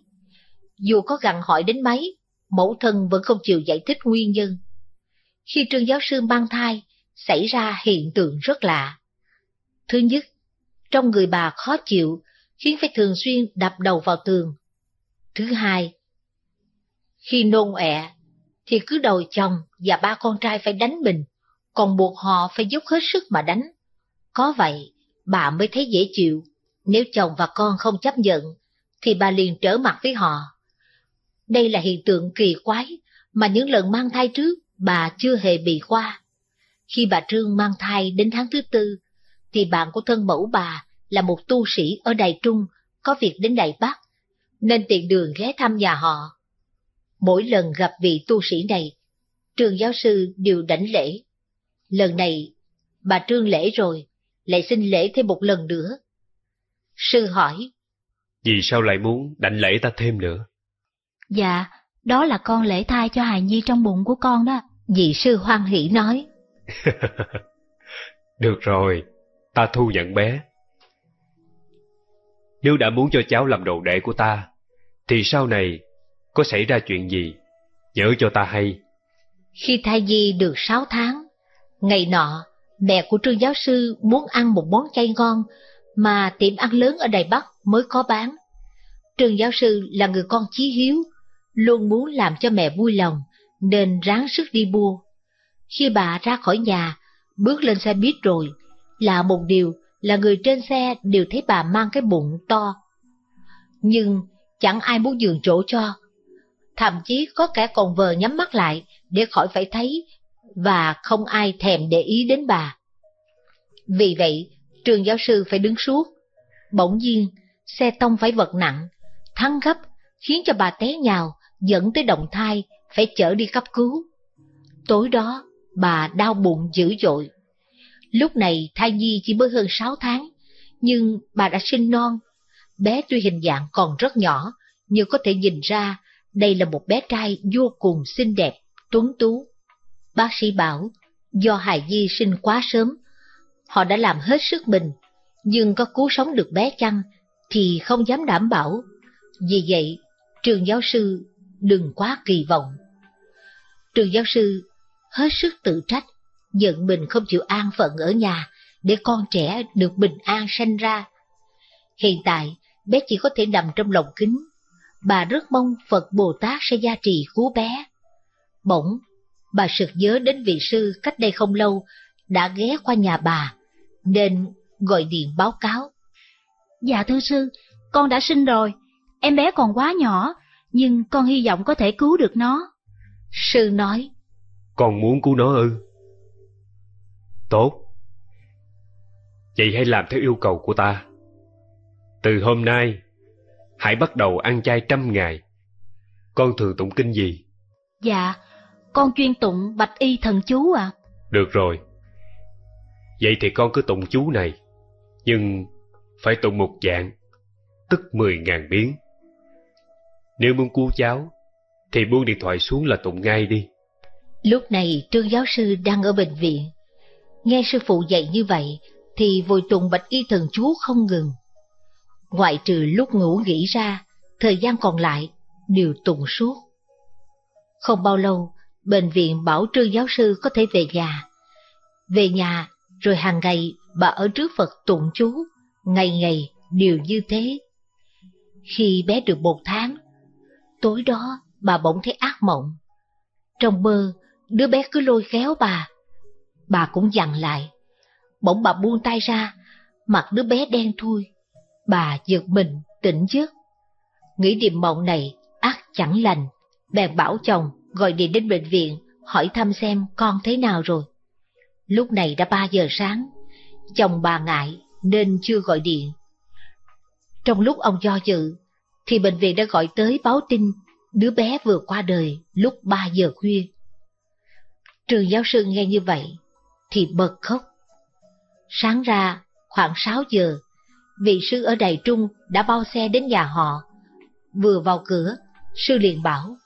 Chúc mừng bà. Trường giáo sư ngơ ngác, thầm nghĩ thằng bé con mình vừa mất, sao sư lại chúc mừng? Nhưng sư đã lên tiếng hỏi. Phải chăng Hà Nhi ra đi lúc 3 giờ sáng? Trường giáo sư rất kinh ngạc, nói. Dạ, sao ngài biết được ạ? Sư kể rõ nguồn cơn. Hồi hôm nay, khoảng 12 giờ khuya, đứa bé đến từ biệt sư. Nó nói, con vốn muốn đem bà ấy đi, nhưng hiện tại vô phương đoạt mạng bà. Bởi vì bà đối với mẫu thân một bề hiếu thuận. Mẹ bà muốn ăn cái gì, bà dù mang thai cái bụng to như vậy, cũng ráng đi mua đồ cho mẹ. Và do bị gặp tai nạn xe như vậy, khiến con không đủ khí lực để sống trong bụng bà. Con vốn định vào đúng ngày sinh nhật, 34 tuổi của bà sẽ bắt bà đi. Sư hỏi, Con theo bà rốt cuộc là có thù oán gì? bé đáp, Đây là mối thù truyền kiếp, cách đây nhiều đời, bà ấy từng là tham quan, đã phán án sai, khiến con bị chết oan. Vì vậy, con để bà từ lúc hoài thai là bắt đầu bị hành hạ, chính là để trả mối thù lúc con bị tra tấn trong ngục. Con khiến bà hút đầu vào tường, kêu chồng, con, đánh đập mình, là để rửa mối hận lúc con ở trong ngục thọ cực hình tan khóc. Nhưng hiện tại, từ lúc bà sinh con ra rồi, thì không ngừng niệm Phật. Do bà niệm Phật, nên chung quanh bà luôn được Phật Bồ Tát che chở, chúc phúc. Vì vậy, con vô phương tiếp cận, không có cơ hội để bắt bà đi. Nhưng con chẳng cam tâm, luôn chờ đợi. Do trong nhà bà có Phật đường, con không cách chi vào được, vì trong nhà bà luôn được các tôn tượng Phật bảo hộ, che chở, cho nên hiện tại con không đủ sức, có muốn kéo bà đi cũng không được, thành phải bỏ đi. Sư bảo trương giáo sư, bà không nên lưu luyến đứa bé này, nó đến là để báo thù, muốn đoạt mạng, bắt bà đi. Nghe vậy, lúc này mẫu thân của trương giáo sư mới kể ra việc khuất tức trong dòng họ. Dòng họ trương giáo sư phát sinh chuyện rất kỳ lạ. Ông nội, ông cố, phụ thân bà đều đúng ngày sinh nhật năm 36 tuổi thì tà thế. Điều này xảy ra liên tục suốt năm đời. Các trưởng nam của dòng họ đều vô phương sống quá 36 tuổi. Số mệnh của họ cứ đúng ngày sinh nhật 36 là lìa nhân gian. Còn phía con gái thì các trưởng nữ cứ đến sinh nhật 34 là tà thế, không ai thoát khỏi. Chuyện này, mặc dù mẫu thân bà biết rất rõ, nhưng không dám nói cho trường giáo sư nghe vì sợ con mình sẽ bị kích động. Bởi vì trương giáo sư cũng là trưởng nữ. Đây là lý do vì sao mẹ trương giáo sư kiên quyết muốn bà phải phá bỏ thai nhi. Trương giáo sư có ba trai, mỗi mỗi đều ưu tú. Nhất là con cả, tốt nghiệp đại học xong thì đi Mỹ du học, sau đó thành gia lập nghiệp. Hai năm trước, trương giáo sư từ mỹ sang thăm con trai thứ hai và con trai út tại Đài Loan, thì bỗng nhận được điện thoại báo tin. Cậu cả đang tắm, bỗng bị gạt thở, hiện đang cấp cứu. Khi bà về đến Bỉ, thì cậu cả đã qua đời. Điều này đối với bà như sét đánh gan tai, khiến bà suy sụp, té xỉu. Nhờ mẫu thân khuyên giải, nên bà ráng nén đau đớn để lo xong 49 ngày cho con. Lúc này, hầu như bà đêm ngày đều khóc, ai an ủi cũng vô dụng. Con trai út của bà cũng tới Los Angeles, thậm chí phải nghỉ công tác để khuyên dỗ mẹ nguôi sầu. Trương giáo sư cũng hy vọng mình có thể thoát ra khỏi nỗi đau. Thế là bà nảy ý đến một ngôi chùa mà thuở giờ chưa từng ghé qua, hy vọng Phật Bồ Tát có thể giúp tâm tư bà bình ổn lại. Từ 10 năm trước, Trương giáo sư đã biết ngôi chùa này, nhưng chưa bao giờ đến viếng. Hôm đó, bà đi cùng chồng và con trai út. Vừa vào cửa thì thấy trong Phật đường có hai người, một vị là Pháp Sư Hương Cảng, một vị là cư sĩ tại gia. Vị tu sĩ Hương Cảng vừa thấy bà Trương thì nhìn chăm chăm, mà Trương giáo sư lúc đó hãy thấy người thì khóc, Pháp Sư liền hỏi nguyên nhân, biết việc rồi, thì ông bảo với Trương giáo sư rằng hãy yên tâm, tôi sẽ lo giúp cho bà. Tuy mới gặp nhau lần đầu, nhưng Pháp Sư xin số điện thoại của bà và hẹn ngày mai gặp. Sau đó mỗi tuần, ông đều hẹn gặp và trò chuyện cùng bà. Ông thường nói, thế gian vô thường, luôn có sinh ly tử biệt, mục đích là để an ủi cảnh tỉnh bà, nhưng bà chẳng thể nào thoát ra khỏi vực thẳm khổ sầu. Thực sự thì cả đời trương giáo sư chưa làm điều gì đáng thẹn với lương tâm. Tại Đài Loan, bà một bề tham gia công tác từ thiện xã hội, giúp đỡ bao nhiêu người, không hiểu tại sao gặp phải cảnh này. Một hôm, Pháp Sư gọi điện cho bà, mời bà đến, rồi muốn nói rằng ông muốn giúp bà, nhưng phải đúng bệnh cho thuốc. Nhưng ông tra không ra, nhân quả khuất tất, nên vô phương giúp bà. Ông nói ông có thỉnh một tượng quan Thế Âm Bồ Tát từ Đại Lục hiện để tại Phật đường của mình và hỏi rằng bà có thích Bồ Tát Quán Thế Âm chăng? Dạ, con từ nhỏ đã rất ngưỡng mộ Bồ Tát Quan Thế Âm. Pháp Sư bảo, Tôi sắp thế này, để thỉnh Bồ Tát Quan Âm về nhà, trước tiên bà hãy đi mua 66cm giả vàng, hai bó hoa cúc cùng hoa trái đèn hương, rồi à, sáng mai đến thỉnh. Hôm đó, bà cùng con trai đi đến tiệm vải để chọn. Trong đây, vải vàng rất nhiều. Bà cho chữ, chẳng biết mua loại nào, thì bỗng thấy một khúc vải rất đặc biệt, liền cầm lên, chuẩn bị trả tiền. Bà chủ tiệm nói, Khúc vải này không bán, bởi vì nó ít quá, mua về cũng không thể dùng làm gì.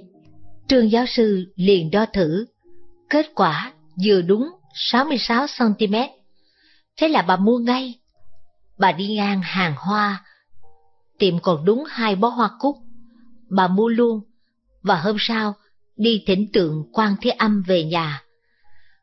Từ đó trở đi, đã qua hai tháng hơn, Trương giáo sư vẫn cảm thấy rất thống khổ, ngày ngày rửa mặt bằng nước mắt.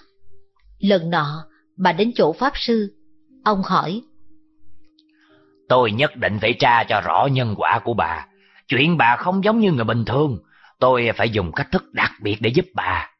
Rồi ông đưa cho bà một tờ giấy đỏ và một bao thư, nói Trên tờ giấy này bà hãy viết ra kim, mộc, thủy, quả, thổ.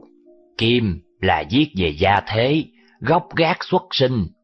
Mộc là viết về bạn bè, công việc. Thủy là viết ra tên họ toàn gia. Quả, kiếp này bà có quan khuất gì? Thổ, bà có nguyện vọng gì? Thế nhưng cần chú ý một điểm, tuyệt đối không được cho bất kỳ ai xem qua, bao gồm cả chồng, con bà và ngay cả tôi nữa. Viết xong rồi thì tại ngày, giờ, tháng, năm đó, đối trước phương hướng đó, đọc năm lần, liên tục ba ngày, đọc tổng cộng mười lăm lần. Xong đem đốt đi, rồi bỏ tro vào bao thư này, đặt dưới gối nằm. Trường giáo sư làm y theo lời thầy nói, viết tổng cộng hơn 1.600 từ, đọc đủ 15 lần, rồi đốt đi, bỏ vào bao thư, đặt dưới gối. Được một tuần, Pháp Sư gọi điện đến cho bà, hỏi. Trong thời gian này, không có hiện tượng gì phát sinh ư? Trương giáo sư đáp, dạ không. Đến ngày thứ 10, thầy gọi điện tới nói. Chúc mừng bà, tôi đã tra rõ nhân quả của bà, giờ hãy mau đến chỗ của tôi. Con trai út bà cũng đồng đi với bà. Đến chỗ Pháp Sư, bà thấy trên bàn ông đặt sẵn một tờ giấy vàng rất lớn, trên ghi chi chích chữ. Pháp Sư nói, Đêm qua tôi ngồi tĩnh tọa suốt đến sáng, cuối cùng từ trong thủy đàn đã tra được hết rồi. Nghĩa là trong nước hiện chữ gì tôi đều chép ra, phải mất mấy tiếng mới chép xong. Tất cả tôi đều ghi hết trong tờ giấy này, bà xem xong thì sẽ hiểu ngay. Sau đó, Pháp Sư bảo bà. Còn có hai tên cho bà xem đây. Bà vừa nhìn, liền nói. Hai người này đương nhiên con biết, họ đến là để đòi nợ con. Pháp Sư nói. Có phải bà rất hận hai người này? Dạ đúng. Bà không nên hận họ, bởi vì đời trước bà nợ họ. Đừng hận nữa, việc gì cũng đều có nhân quả của nó. Tiếp đến, Pháp Sư đưa tờ giấy vàng cho bà đọc, và nói khi đọc đoạn thứ nhất, lòng bà sẽ hết sức sợ hãi, nhưng đọc đến đoạn thứ hai, bà sẽ rất kinh ngạc. Lúc đọc đến đoạn thứ ba, bà cảm thấy an ủi vô cùng. Thế là bà bắt đầu đọc tư liệu, rất dài, vì cả trang giấy to lớn ghi rõ hết chuyện đời trước của bà. Điều đáng ngạc nhiên là câu chuyện nhân quả báo ứng này cũng giống như vị Pháp Sư Đài Trung từng kể 19 năm trước. Nhưng ở đây ghi cụ thể, tỉ mỉ hơn, có tên họ hẳn hoi. Đây là câu chuyện đầu Nga kỳ án, nổi danh trong lịch sử mà ai cũng biết. Chuyện hoàn toàn có thật được ghi như sau. Trường giáo sư kiếp trước là quan thái thú đào ngột, một tham quan hủ bại. Không ác nào mà không làm, ông đã bắt đầu Nga hạ ngục, xử nàng chết oan. Đầu Nga nhân đây cùng tham quan, kết huyết hải thâm thù, phát thệ đời đời sẽ truy tìm, báo oán rửa hận, làm cho gia tộc kẻ thù luôn bị cảnh, gia phá nhân vong. Đọc đoạn này, bà sợ đến phát run. Sơ lược câu chuyện đầu Nga kỳ án. Dân nữ đầu Nga từ nhỏ mồ côi mẹ, phụ thân là một tú tài nghèo tên Đậu Thiên Chương. Do muốn lên kinh ứng thí mà không có tiền đi đường, nên đã vay nóng số tiền là 20 lạng bạc của bà quả phụ họ Thái. Nào ngờ năm sau, do số nợ lãi suất cao, biến thành 40 lạng, ông trương vô phương đền trả, đành phải đem con gái là Đậu Nga, vừa gán nợ, vừa làm đồng dưỡng tức. Tức có nghĩa là cô dâu nhỏ được nhà trai nuôi từ bé. Đầu Nga ở nhà bà Thái được 10 năm, thì được gả làm dâu nhà họ Thái. Nhưng chưa đầy hai năm, chồng nàng chết đi, đầu Nga ngóa bùa, đành ở vậy cùng với mẹ chồng. Lúc này, tại Sở Châu, có Trương Lương Nhi là một thanh niên lưu manh, hắn hợp cùng với lão Trương là cha mình, sớm nhau bắt nạt, ước hiếp hai quả phụ nhà họ Thái, ép buộc bà Thái phải lấy lão Trương. Bà mẹ chồng họ Thái vì muốn bảo toàn tính mệnh, bớt đắc dĩ phải ưng lão Trương. Nhưng giả tâm Trương Lưu Nhi không dừng ở đây, hắn muốn ép đầu Nga lấy hắn. Đầu Nga cương quyết từ chối, Trương Lưu Nhi bèn lập mưu hãm hại nàng. Hôm nọ, mẹ chồng nàng bị bệnh. Đầu Nga nấu canh bổ, đem dâng cho bà dùng. Nhưng Trương Lưu Nhi đã lén bỏ độc vào canh. Thầm tính là trước tiên giết chết bà Thái, rồi sau đó ép đầu Nga thành thân với Bình. Nào ngờ lúc đó bà Thái buồn nôn nên không dùng canh. Lão Trương thấy đồ ngon, bèn dành lấy ăn sạch. Trong chốc lát thì thuốc độc phát tác, ông ngã xuống lìa đời. Việc xảy ra hoàn toàn ngoài dự tính. Trương Lương Nhi muốn hại mẹ kế, thành ra giết chết cha ruột. Hắn gian hoa đổ hết tội giết người cho đậu Nga và thư kiện lên quan. Tri phủ Sở Châu vốn là một tham quan, do nhận nhiều bạc của Trương Lư đút lót nên đã dùng cực hình bức cung ép đầu Nga phải nhận tội. Nhưng đầu Nga thà bị đánh chết chứ nhất quyết không nhận tội. Do vậy tri phủ bèn chuyển qua tra tấn, đánh đập bà Thái. Thương mẹ chồng, vì muốn cứu bà thoát đòn roi bạo hình, đầu Nga đành gạt lệ nhận tội. Thế là nàng bị phán tử hình, bị trói dẫn ra pháp trường. Lúc đó, đầu Nga lòng đầy bi phẫn. Nàng chỉ trời đất, trách rằng Trời ơi, ông để kẻ hiền bị áp bức xử quan mà cũng làm trời hay sao? Đất ơi, chẳng biết phân xấu tốt thiện ngay mà cũng làm đất hay sao? Khi đao phủ vung đại đao lên, ánh chớp sáng lóe. Lúc này, đầu ga ngước lên trời, đọc to ba lời quyền. Nàng thề rằng, Một, nếu tôi bị án quan, khi đao chém qua đầu, thì máu không rơi xuống đất mà bay thẳng đến Bạch Kỳ, không cho một giọt máu tươi nào dính vào thi thể của tôi trên mặt đất. Hai, trong suốt tháng sáu, đang mùa hạ, trời phải làm tuyết rơi dày ba thước, che phủ thi thể tôi. Ba, tôi chết rồi, toàn phủ sở châu phải liên tục bị hạn suốt ba năm để chứng minh là tôi chết quan. Nàng thề xong, đao phủ, vùng đao chém. Máu nàng quả nhiên bay thẳng lên bạch kỳ. Tiếp theo đó là suốt tháng sáu, trời giáng đại tuyết phủ che thi thể nàng. Và sau khi nàng chết rồi, sở châu bị hạn suốt ba năm. Ước nguyện của đầu ga đã được thực hiện, chứng minh rõ là nàng chết oan. Điều này đã giống lên lời hiệu triệu kinh thiên động địa, toàn thể bá tánh ở phủ sở châu đối với tham quan đào ngột vô cùng oán ghét và cực kỳ cảm thông cho nàng đầu Nga trẻ tuổi chết oan. Câu chuyện lịch sử này về sau đã khơi nguồn cảm hứng cho nhiều kịch bản sản sinh. Có kịch bản lấy tựa là Tháng sáu tuyết rơi, trải qua trăm ngàn năm nay luôn được tán thưởng, tác giả quang Hán Khanh. Cũng nhờ đó mà nổi danh và được xem như bậc thầy, một nhà soạn kịch tài ba cấp thế giới. Nhưng trong kịch bản công diễn thì có thêm phần kết cuộc như thế này. Sau khi cha đầu Nga là đầu thiên chương lên kinh thi đậu làm cao quan, ông phụng lệnh vua đến Sở Châu khảo sát dân tình và phát hiện vùng này bị hạn. Suốt ba năm trời không mưa một giọt. Ông thầm nghĩ nhất định là có án oan, nên suốt đêm đó trong đèn tra lại vụ án đầu Nga. Bỗng ánh sáng lóe lên, đầu Nga xuất hiện, kể rõ oan tình, xin phụ thân chủ trì công đạo. Đầu Thiên Chương điều tra tỉ mỉ vụ án, cho xử lại và tuyên bố đầu Nga vô tội, phán tử hình Trương Lư Di cho hành quyết tại Sở Châu.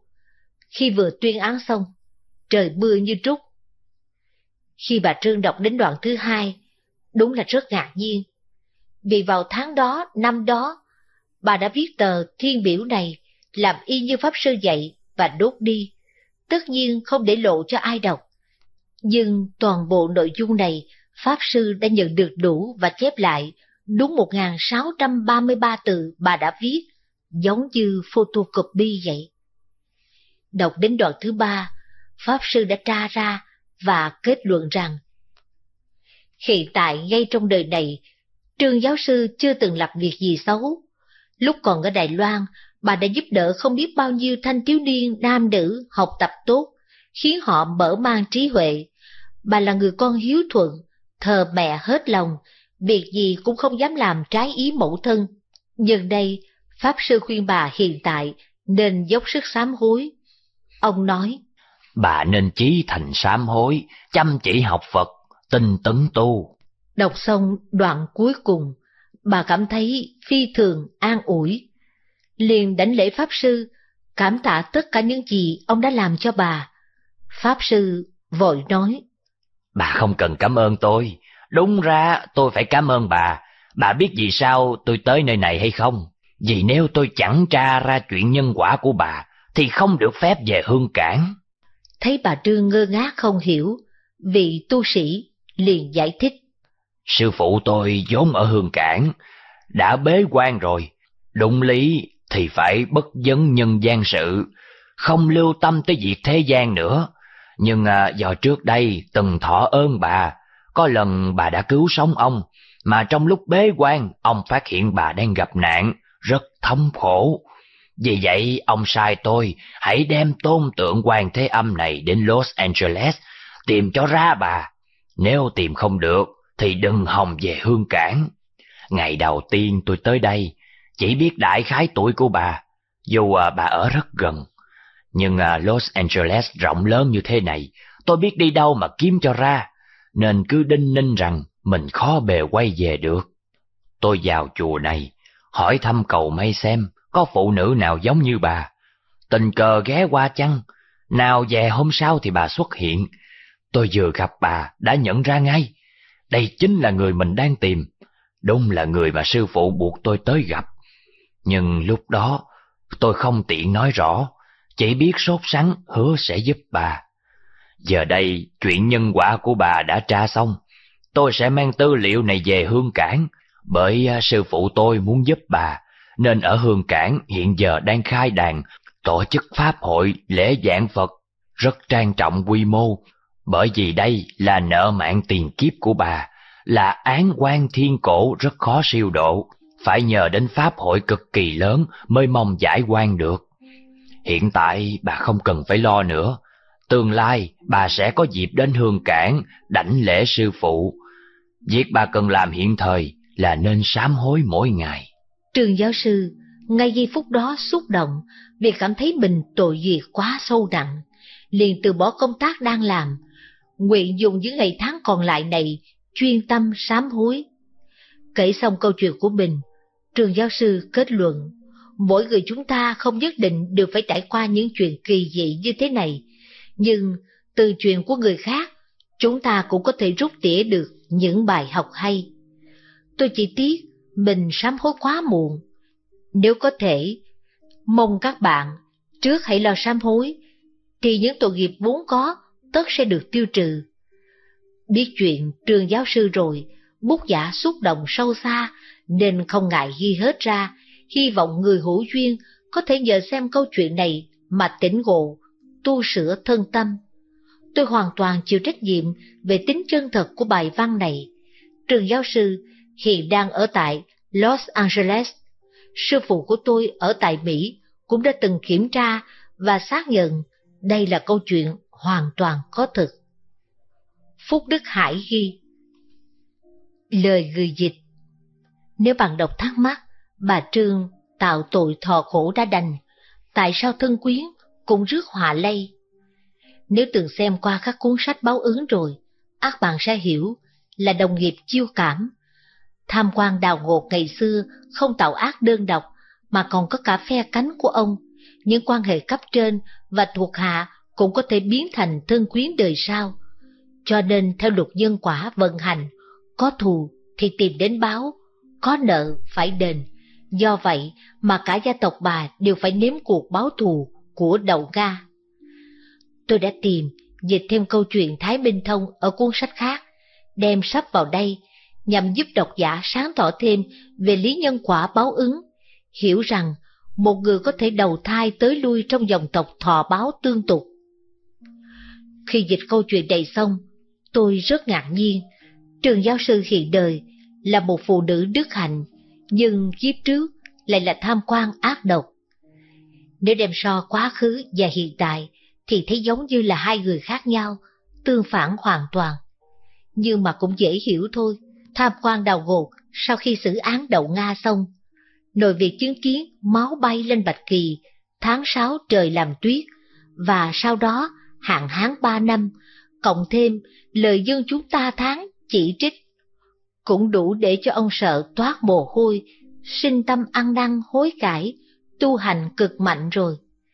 Và chính nhờ cái tâm sám hối tha thiết tu sửa mạnh mẽ đó, đã chuyển đào ngột từ một kẻ ác độc trong kiếp quá khứ thành một kẻ đức hạnh đời hiện tại, bạc hết mọi dấu vết xấu xa lỗi lầm.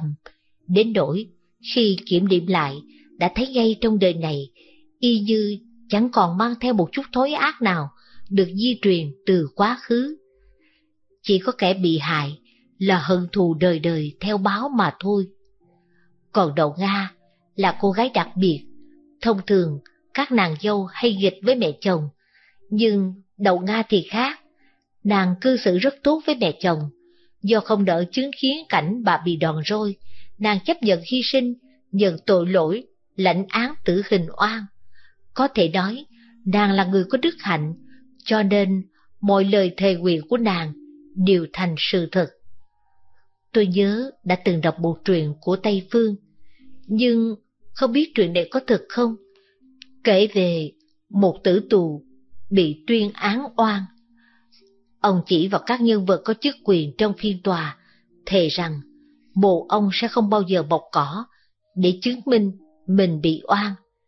Sau đó tại Nghĩa Trang, các mộ khác đều xanh cỏ, chỉ duy nhất ngôi mộ tử tù này là không bao giờ có cỏ mọc. Điều này khiến các nhân vật trong tòa trột dạ. Họ bèn nhờ người mang cỏ đến trồng trên mộ ông. Nhưng cỏ chết hết, mộ kẻ bị xử quan vẫn mãi mãi không mọc cỏ. Có vẻ như lời nguyền của những kẻ bị án oan có đức hạnh luôn được thực hiện. Thông thường, ở thân phận bình dân, khi mà mọi thứ sở hữu đều khiêm tốn, người ta ít có cơ hội tạo lỗi hơn so với lúc bản thân có chức quyền, địa vị cao. Tôi nhớ tới chuyện công chúa Thăng Hoa trong tập báo ứng hiện đời 1-2. Khi làm công chúa, nàng đoạt chồng của dân nữ và giết người không gớm tai. Hãy ai trái ý là nàng giết, tính nết kiêu căng, trịch thượng, quyền quy, ác độc. Nhưng lúc tái sanh làm thường dân, nàng lại rất hiền lành. Một con cua cũng không dám giết, thậm chí còn thiết tha niệm Phật cầu cho nó đừng bị chồng sát hại. Cũng một con người đó, quá khứ thì tàn nhẫn ác độc, nhưng hiện tại thì lại hiền lành, tốt nết. Tất cả những thay đổi này nói chung đều xuất phát từ lộc ăn năn hối cải, quyền dứt ác, tu thiện mãnh liệt. Có lẽ nhờ vậy mà khi tái sinh, những người ác đó đã xóa hết tập quán tệ, chỉ còn lại những nết tốt, hành thiện, làm hành trang đem theo qua kiếp sau. Đó là điều đáng mừng cho họ. Nhưng không phải ai cũng biết giác tỉnh, sửa đổi mạnh như vậy. Thật chí lý khi Phật nói tạo si phước, tạo mà không có trí tuệ là tội nghiệp đời thứ ba. Bởi những phước báo đã tạo quá nhiều, nếu có lên trời, hưởng hết rồi cũng bị đọa. Còn nếu được ở dân gian hưởng phúc, thì sẽ sinh làm người quyền quý, giàu sang. Rồi chính vì những tiền của, quyền lực, tài sắc đó, người ta lại có cơ hội tạo tội nhiều hơn. Cho nên, Phật luôn nhắc nhở ta phải tu theo chánh pháp, để đời đời luôn có trí tuệ, dẫn lối sôi đường, giúp ta không đọa lạc. Trộm công, giảm điệu Hiện tại trong giới kiến trúc có ba câu danh ngôn. Chỉ trộm công, không giảm liệu, chờ sập. Chỉ giảm liệu, không trộm công, sẽ sập. Đã trộm công lại giảm liệu, chắc chắn sập. Nếu giảng lược là trộm công giảm liệu, thì sớm muộn gì cũng sập. Vào năm 1971, thành phố Đài Nam của Đài Loan có một nhà kinh doanh kiến trúc nổi danh tên là Trương Sĩ Lư. Ông không học qua sách vở, nhưng phòng ốc dựng xây hết sức kiên cố, tuyệt không có chuyện trộm công giảm liệu.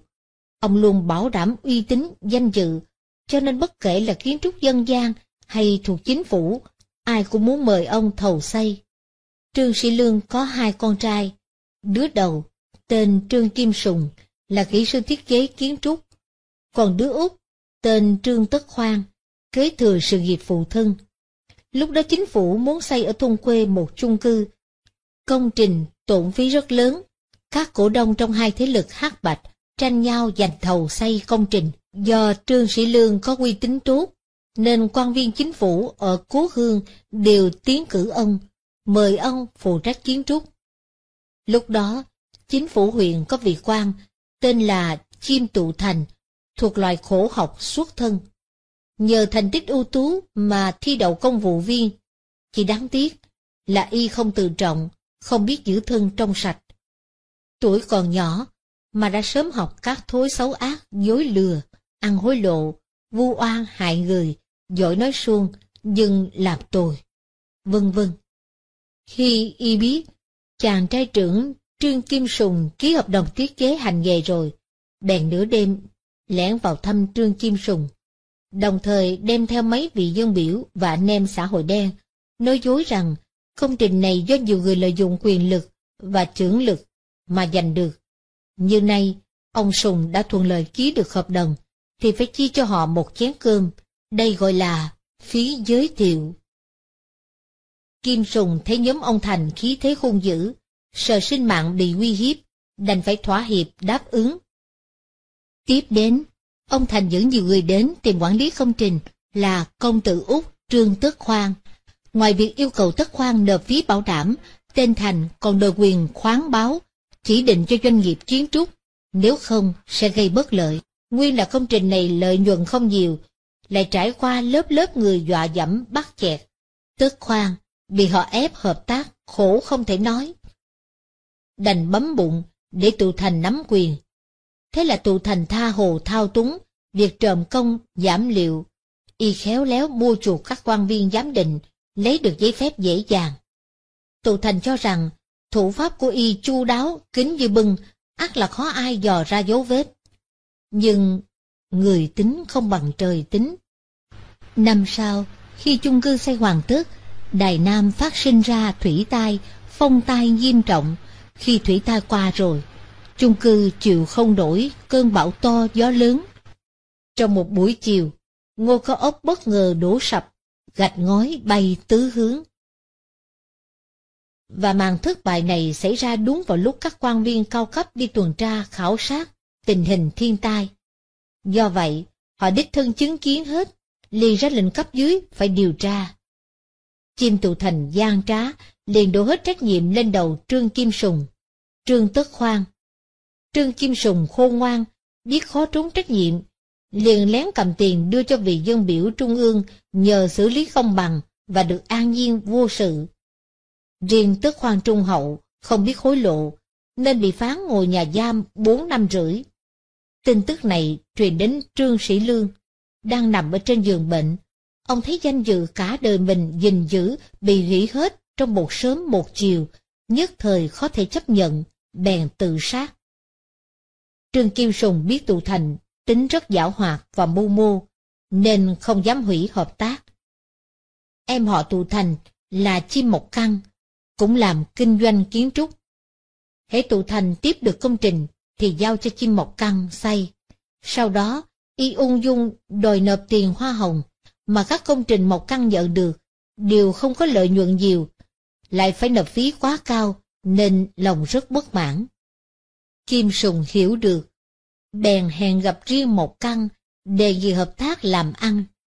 Kim Sùng nhận công trình xong, thì giao cho một căn xây, lợi ích chia đều, không hề đòi phí hoa hồng hoa cúc gì cả. Một căn nghe, thích lắm, vui vẻ hợp tác.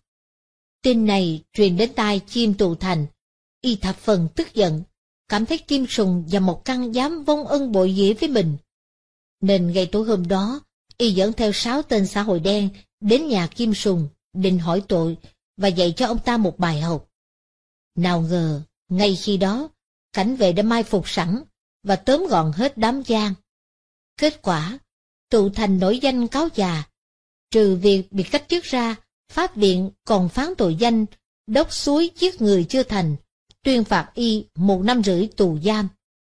Khi tụ thành mãn hạn tù được thả rồi, thì y hợp cùng với các thế lực đen mở một công ty kiến trúc, đấu thầu nhận công trình rồi thì giao cho bên xây dựng lo và kiếm lời từ trong đây.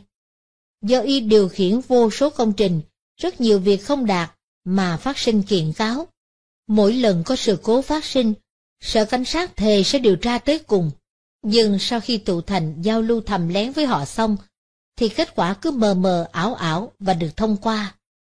Mặc dù tù thành nhiều lần thoát khỏi lưới pháp luật, nhưng trốn không nổi báo ứng của trời. Hôm đó là ngày mừng sinh nhật 65 của ông. Hai con trai ông vì cha mẹ nghỉ hưu an hưởng tuổi già đã đặc biệt hùng vốn xây cho một ngôi biệt thự nguy nga để làm quà mừng sinh nhật phù thân. Hôm sinh nhật là ngày ông hoan hỷ dọn vào nhà mới. Nhưng không ai ngờ, ngày tối đó, hạ tầng ngôi biệt thự tráng lệ bỗng phát sinh sụt lún, rồi sụp đổ, khiến cho vợ chồng ông Thành, con trai trưởng và các phe phái từng hợp tác thầu xây dựng công trình gian, vô phương đào thoát, đồng bị chôn sống và chết dưới đống gạch vụn. Sau đó cảnh sát điều tra mới biết, ngôi kiến trúc mừng sinh nhật do bị bòn rút vật liệu nghiêm trọng nên mới đổ sập. Điều khiến người ngạc nhiên nhất là nhóm thợ xây ngôi nhà đó thuộc công ty của con trai trưởng ông Thành. Do ông Thành và các phe phái hợp tác thầu công trình chuyên bòn rút vật liệu và tùy chiêu này đã được ông truyền cho con trai. Còn ông lại đem bí kíp công phu này truyền cho các thương nhân hợp tác xây dựng, nên khi họ thọ giáo đầy đủ rồi, thì luôn sử dụng tùy chiêu này để báo đáp cha con ông. Đây gọi là báo ứng. Trồng dưa được dưa, trồng đậu được đậu. Trong xã hội bây giờ, bao nhiêu quan viên và công ty xây dựng vì tiền tài thế lực, danh vọng mà bán rẻ lương tâm. Hãy xem Đài Loan năm 92 bị đài địa chấn, Tứ Xuyên, Vấn Xuyên bị đài địa chấn, làm sụp đổ biết bao nhiêu tòa nhà, bị bòn rút vật liệu và đè chết vô số sinh mạng bất hạnh. Đây chính là quan quyền cấu kết với thương nhân, hợp tác, làm gian dối, cẩu thả, rồi tạo nên thảm kịch máu loang đầy đất, từ việc xây dựng thiếu lương tâm. Hy vọng, nghe xong câu chuyện có thật này, các vị sẽ giữ lòng hướng thiện. Nếu dùng thủ đoạn đê hèn để có được giàu sang, thì hại người vẫn là hại mình, khó thoát khỏi báo ứng rủi ro. Bởi vì đồng tiền bất nghĩa, dù do chính tay mình hay con cháu tạo ra, thảy đều vô phương hưởng dụng. Trong chết được sống Thông thường, người ta chỉ khi nào lâm vào bước đường cùng mới khởi ý đến với Phật Pháp, cầu gia hộ. Lúc đó nếu có duyên lành gặp được thiền tri thức hướng dẫn, hành đúng Pháp sám hối, chí thành học Phật, thì có thể chuyển nguy thành an, sống lại từ chỗ chết. Nhưng trước bao quả báo khổ não phải thọ nhận, có bao nhiêu người sở hữu được may mắn này? Vì vậy, chúng ta phải luôn nhớ vô thường, nghe liền tinh thọ, phải biết trân quý bội phần những ưu khuyết từ kiếp người. Sống nên thuận theo dòng thiện, sửa đổi lỗi xưa, ăn chay trì giới, hiểu rõ nhân quả, dứt ác theo lành, phá bỏ vô minh chồng chất, giữ chánh tri kiến, mới có thể tránh được tai nạn họa ương trùng trùng. Có nữ cư sĩ họ Lưu, tuy tin Phật nhiều năm, nhưng do gia đình phản đối nên mãi vẫn chưa ăn chay, tính tâm học Phật cũng không kiên định. Cuối năm 2007, Lưu cư sĩ khám bệnh, bất ngờ phát hiện ruột bị ung bú. Sau khi tái khám, bác sĩ bảo Cô về nhà nghỉ dưỡng, thích món gì á thì cứ ăn. Bệnh này á, bạn sống chỉ tính từng ngày. Lưu cư sĩ hoàn toàn bất ngờ. Bình thường cô không nghĩ là bệnh này nặng đến vậy. Giờ xem như đã bất trị, là thời kỳ cuối. Vô thường đến nhanh quá, khiến cô trở tay không kịp, nên tâm phát sinh chán nản, tuyệt vọng đầy. Lúc này cô nhớ lại, mấy hôm trước, dì và vài bạn đạo đến thăm đã nhiều lần khuyên cô nên ăn chay, niệm Phật, tụng kinh cho tốt. Thế là cô âm thầm hà quyết tâm, phải trì giới ăn chay, chấm dứt không tạo sát nghiệp. Cô sẽ chân chánh tu học Phật Pháp, cầu Phật lực gia trì giúp cô ra khỏi tuyệt lộ. Về nhà rồi, Lưu cư sĩ kể rõ bệnh trạng nghiêm trọng của mình cho mọi người hay, và kiên quyết nói. Tôi không còn sống bao lâu nữa. Trước đây tôi đã tạo nghiệp sát quá nặng. Bắt đầu từ hôm nay trở đi, tôi nhất quyết ăn chay tu học. Xin mọi người ủng hộ cho. Chồng và các con cô thuở giờ luôn phản đối không cho cô ăn chay, lúc này đành im lặng chiều theo. Mặc dù cô mới bắt đầu ăn chay, tập tu, nhưng nỗi sợ cái chết và bệnh hoàng đau đớn, dày vò, khiến cho cô nhiều lần thối tâm, tinh thần đang nằm trên bờ vực suy sụp. Đang lúc cô hành trì hết sức khó khăn, thì dì và các bạn đạo liền đưa tay ra giúp. Họ dẫn cô đi phóng sinh và đồng tụng kinh hồi hướng hỗ trợ, cầu Phật Bồ Tát gia hộ cô sớm mạnh lành hồi phục. Đồng thời, còn khuyên cô nên tụng kinh nhất thiết như lai tâm bí mật toàn thân xá lợi bảo kiếp ấn Đà La Ni, để giúp cho tín tâm và đạo tâm kiên định, chiến thắng được quỷ bệnh. Một tháng sau, khi đến bệnh viện kiểm tra, thấy bệnh cô đã ổn định và chuyển tốt. Điều này khiến cô tăng thêm niềm tin. Chồng con khi hay bệnh cô đỡ nhiều rồi, cũng vui mừng, tở mở, xúm nhau ăn chay theo. Những ngày tháng sau đó, Lưu cư sĩ phát nguyện tinh tấn tu học, là một đệ tử Phật đúng nghĩa. Hàng ngày, cô tụng kinh, nhất thiết như lai tâm bí mật toàn thân xá lợi bảo kiếp ấn Đà La Ni, 108 biến. Cô Chí Thành quỳ trước Phật tụng kinh, tĩnh tọa, chuyên chú miên mật Lúc này, phiền não cũng theo đó rụng rơi. Đúng như trong kinh nói, nếu có chúng sinh, tội nặng bị báo ứng, trăm bệnh kéo đến, thống khổ bức thân, tùng chú này 21 biến, ách bệnh khổ não, nhất thời tiêu tan, thọ mệnh kéo dài, phúc đức vô tận. Lưu cư sĩ tinh tấn tu học như thế ba tháng, sau đó đến y viện tái khám, kỳ tích đã xuất hiện, ruột không còn ung bú, bệnh khỏi hẳn triệt để. Nhờ theo pháp chân chánh, học Phật thực hành đã giúp cho lưu cư sĩ sống lại từ cửa tử. Không những bản thân cô thọ sâu pháp ích, mà còn khiến cho toàn gia cảm động, cùng bước vào con đường tu tập, ăn chay theo luôn. Giải thích thêm, lưu cư sĩ bị ung bú thời kỳ cuối. Vì sao chỉ ba tháng được lành? Là do các nguyên nhân sau đây. Một, nhờ cô sửa đổi tu ba điều thiện, ăn chay trường, phóng sinh, tụng kinh.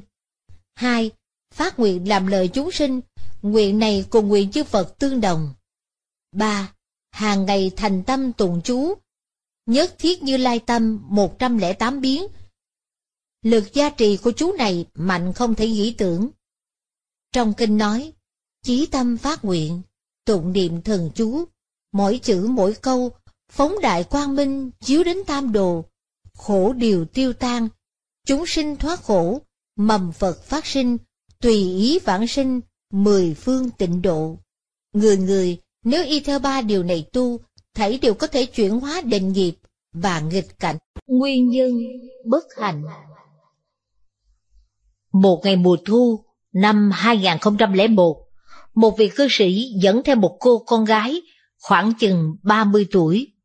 Trông rất tiều tụy, cô quỳ trước hòa thượng diệu pháp khóc sướt mướt, không ngừng kể lễ về những bất hạnh của mình. Quên hẳn hiện trường đang có mấy mươi khách. Sư phụ, con khổ quá nên mới nhờ hách cư sĩ dẫn đến đây cầu ngài chỉ dùm cho con con đường sống.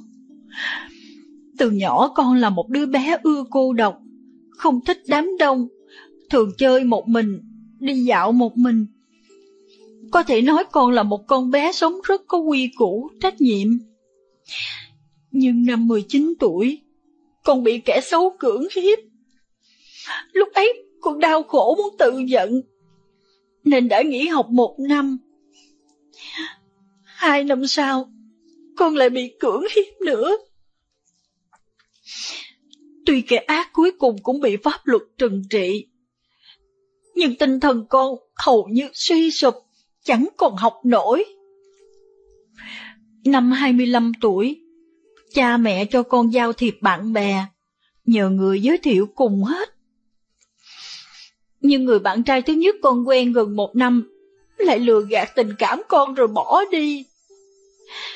Năm sau con quen chàng khác. Kết quả anh này cũng hành xử giống như người bạn trai trước. Con hầu như không còn niềm tin để sống nữa. Khổ đến lúc nào cũng nước mắt đầm đìa. Xin sư phụ giải cho con hiểu. Số con vì sao quá bất hạnh có cách nào chuyển đổi hay không? Sư phụ mời cô ngồi. Ngài trầm ngâm một hồi, rồi hỏi. Hôm nay, vì sao con không trang điểm? Nghe vậy, cô có chút ngơ ngác, sau đó tỏ vẻ ấy nấy thưa. Dạ, bà hách dặn con, tới gặp ngài thì không nên trang điểm.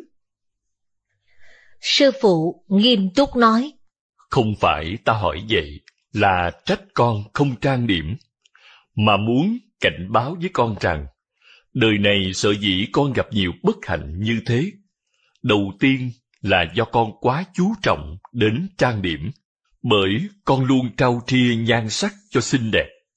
Y phục lúc nào cũng phải đúng mốt, còn ưa mặc khiêu gợi hở hang, cho dù Tính con ưa cô độc lập dị, nhưng thích được mọi người ngưỡng mộ, nhìn ngắm mình. Rất ưa quyến rũ nhãn qua người khác phái.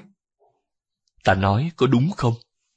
Cô gật đầu, sư phụ nói tiếp.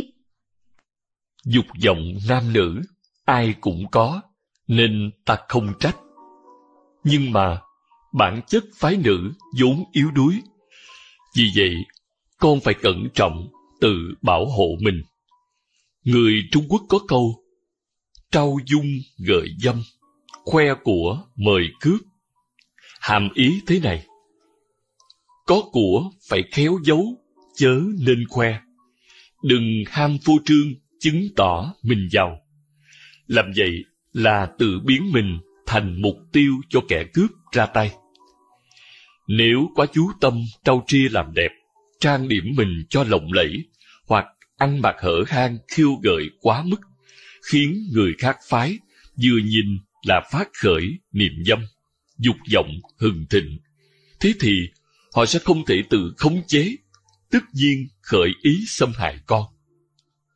Cho nên, nếu đã nhận mình là cô gái, tức là sống có quy củ trách nhiệm, thì đúng ra con nên biết cách khéo tự bảo vệ mình, không nên ăn mặc hở hang, kích khởi dâm tâm, ái niệm nơi người khác phái. Còn về phu thê, tất cả đều có duyên số và tùy thuộc nguyên nhân nghiệp lực đời trước nữa. Kiếp trước, ai thiếu ai, ai nợ ai, nhất định đời này sẽ tìm đến, tức là gặp nhau, đòi nợ.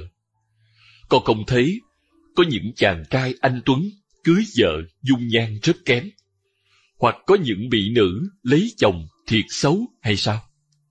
Cho nên, tất cả nam nữ thiện lương trên đời tuyệt không nên học đòi chân diện ăn mặc hở hang theo kiểu các ngôi sao điện ảnh. Bởi vì trau chuốt hở hang sẽ gợi dâm, khoe của là mời cướp.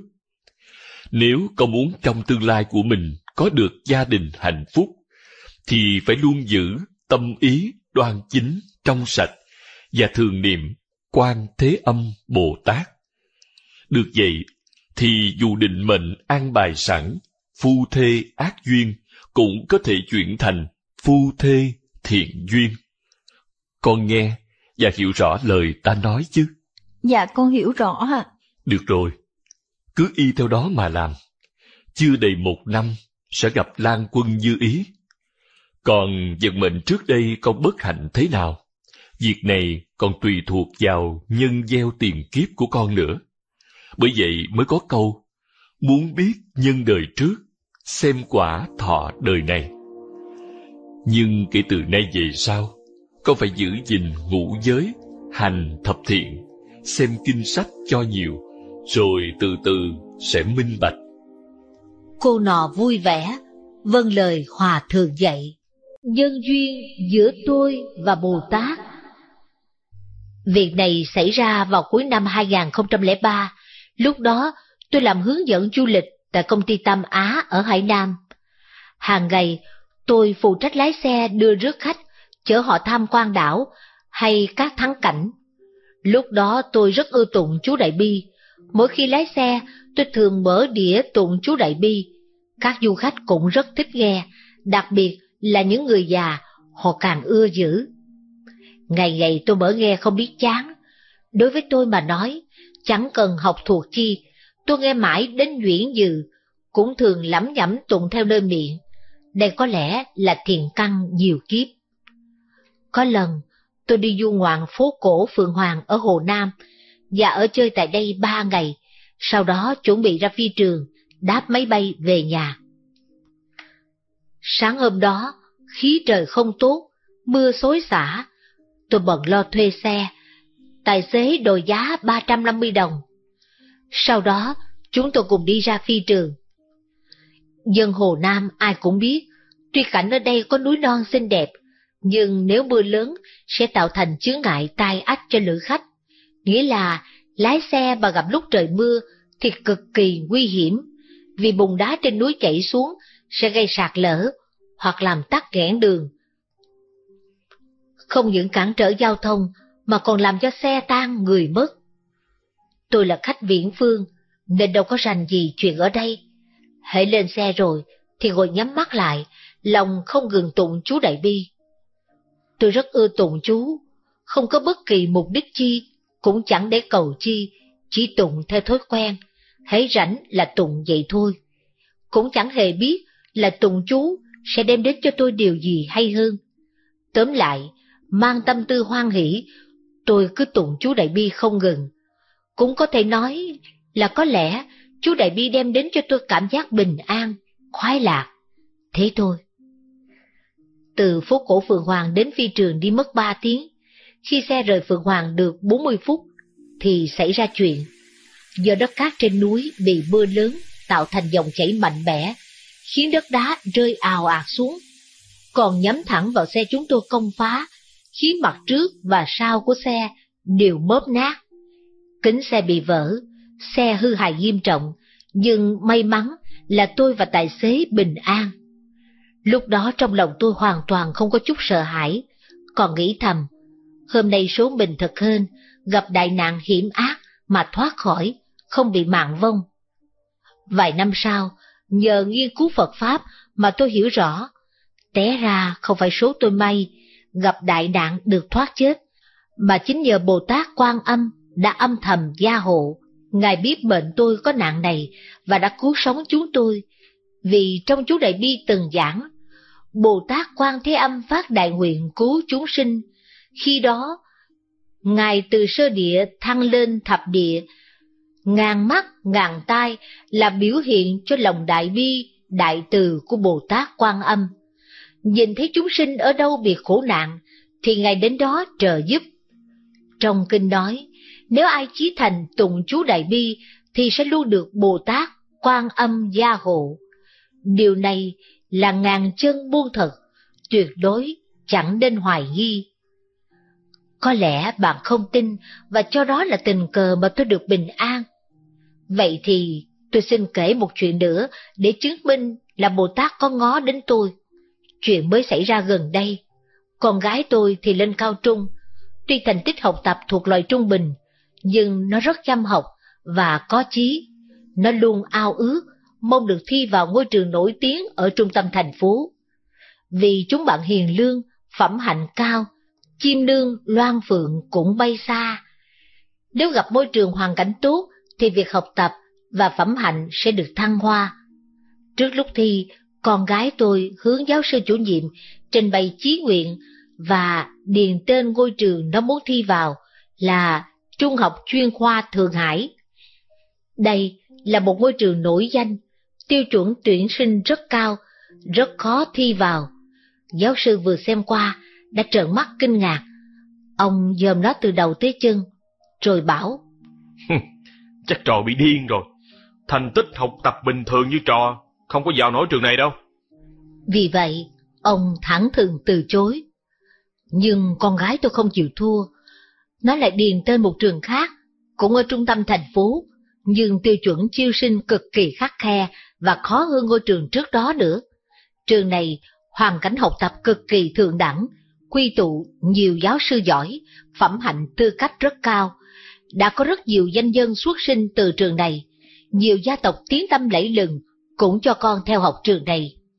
Giáo sư chủ nhiệm thấy nó ghi như vậy, thì nghĩ là bệnh điên của nó đã hết thuốc chữa, bèn phán.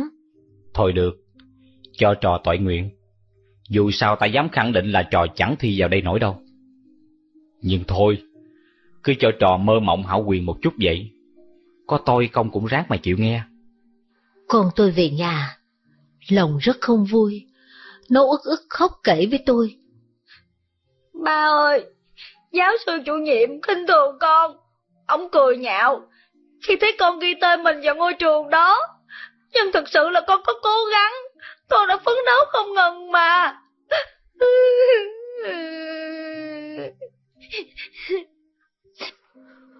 Tôi vỗ về, an ủi nó. Con gái cưng à, cổ nhân thường nói, có chí thì nên. Con có hoài bão cao, thì chịu khó siêng năng học tập. Ờ, bà nghĩ nhất định sẽ được như ý nguyện mà. Đây gọi là đạo trời buộc đắp cho người có lòng. Bà hứa sẽ hỗ trợ vì con làm nhiều việc thiện, rộng tích âm đức để hồi hướng phúc lành đến cho con. Suốt thời gian con bé thi, tôi giữ đúng lời hứa.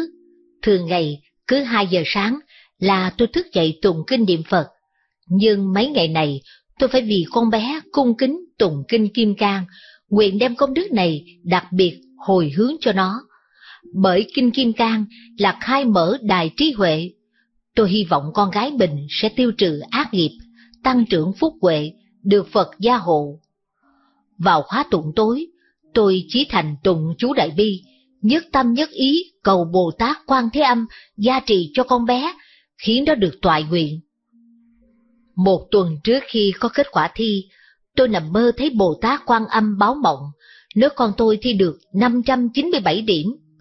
Sáng ra, tôi lập tức báo tin mừng này cho vợ và con hay, bọn họ chẳng ai chịu tin. Con gái tôi còn nói, Lần này thi đậu hay không, con chẳng dám nghĩ tới nữa. Vì môn văn con làm không đạt lắm.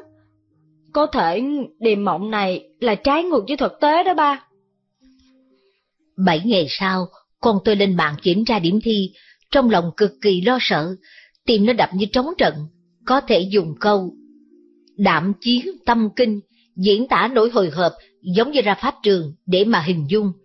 Nhưng nó đã thấy rõ trên màn hình vi tính điểm số mình hiện ra rất cao, môn ngữ văn dư hơn 15 điểm. Tôi bảo, con mau lấy bản tính ra, cộng hết lại thử coi. Sau một hồi cộng tính, đúng y chang, 597 điểm, không thừa, không thiếu. Tôi vội nhắc. Nè, con có nhớ tuần trước, bà đã thông báo cho con kết quả như vậy rồi đúng không? Bồ Tát Quan Âm đã báo mộng, nó con thi đậu được 597 điểm mà. Lúc này, hai mẹ con cùng ngay người một lúc, sau đó thì mừng vui cực điểm, cả nhà vui đến không thể có gì diễn tả được. Bởi nguyện vọng thi vào trường cao cấp ở trung tâm thành phố của con bé đã đạt thành. Con gái tôi mừng đến nỗi không thành lời, nó cứ ấp a ấp úng. Ba, ba, ba ơi! Tôi bảo, Con, con mau đến lễ tạ Bồ Tát Quan Thế Âm đi. cả nhà chúng tôi vội vàng đi thắp hương lễ bái. Tôi lễ ngài trăm lại, bày tỏ lòng tri ân vô cùng. Bản thân tôi hàng ngày niệm Phật 15 tiếng đồng hồ. Khóa tối thì đọc văn phát nguyện của chú Đại Bi, sau đó tụng năm biến chú Đại Bi, rồi niệm A-di-đà Phật. Tiếp theo là niệm Quan Thế Âm Bồ Tát. Trên đời này không có may mắn nào vô duyên vô cớ. Con người ta gặp lúc quan trọng, nếu không nhờ phúc đức bình gia hộ cho, thì chỉ có nương vào quý dân tương trợ. Tôi là một phàm phu nhiều tội lỗi, nghiệp chướng sâu nặng, phúc mỏng huệ bạc. Nếu không có Bồ Tát quan thế âm cứu, thì mạng tôi sớm đã đi đời, trôi lăn trong ác đạo, thọ khổ. Hiển nhiên có thể thấy, quý nhân của tôi chính là Bồ Tát quan thế âm. Đây cũng thực sự chứng minh uy thần oai lực không thể nghĩ lường, ngàn xứ cầu, ngàn xứ ứng. Thuyền từ đồ khắp chúng sanh trong biển khổ của Bồ Tát. Tôi đem kinh nghiệm có thật của mình chia sẻ, là mong các pháp lữ đối với Bồ Tát Quan Thế Âm tăng thêm lòng tin, gặp thời điểm quan trọng, nguy cấp, hãy chí thành, khẩn cầu Ngài gia trì cho, phải tin sâu không nghi, dốc lòng niệm danh Ngài để dẹp trừ tạp niệm, vọng tưởng, giúp tâm trong lặng thành một phiến, không nên có tạp niệm loạn cuồng. Trong Kinh Đại Bi có giảng, nếu người phát nguyện hàng ngày tụng khoảng năm biến chú Đại Bi có thể giúp tiêu trừ trăm ngàn vạn ức kiếp sinh tử tội nặng. Lúc lâm chung, tùy duyên vãng sinh, thậm chí có thể đến Tây Phương cực lạc thế giới. Nếu lời nguyện này không viên mãn, Ngài tuyệt chẳng thành Phật. Nếu người phát nguyện hàng ngày tụng khoảng năm biến chú Đại Bi, lúc lâm chung mà đọa vào ba nẻo ác, Ngài vĩnh viễn chẳng thành Phật.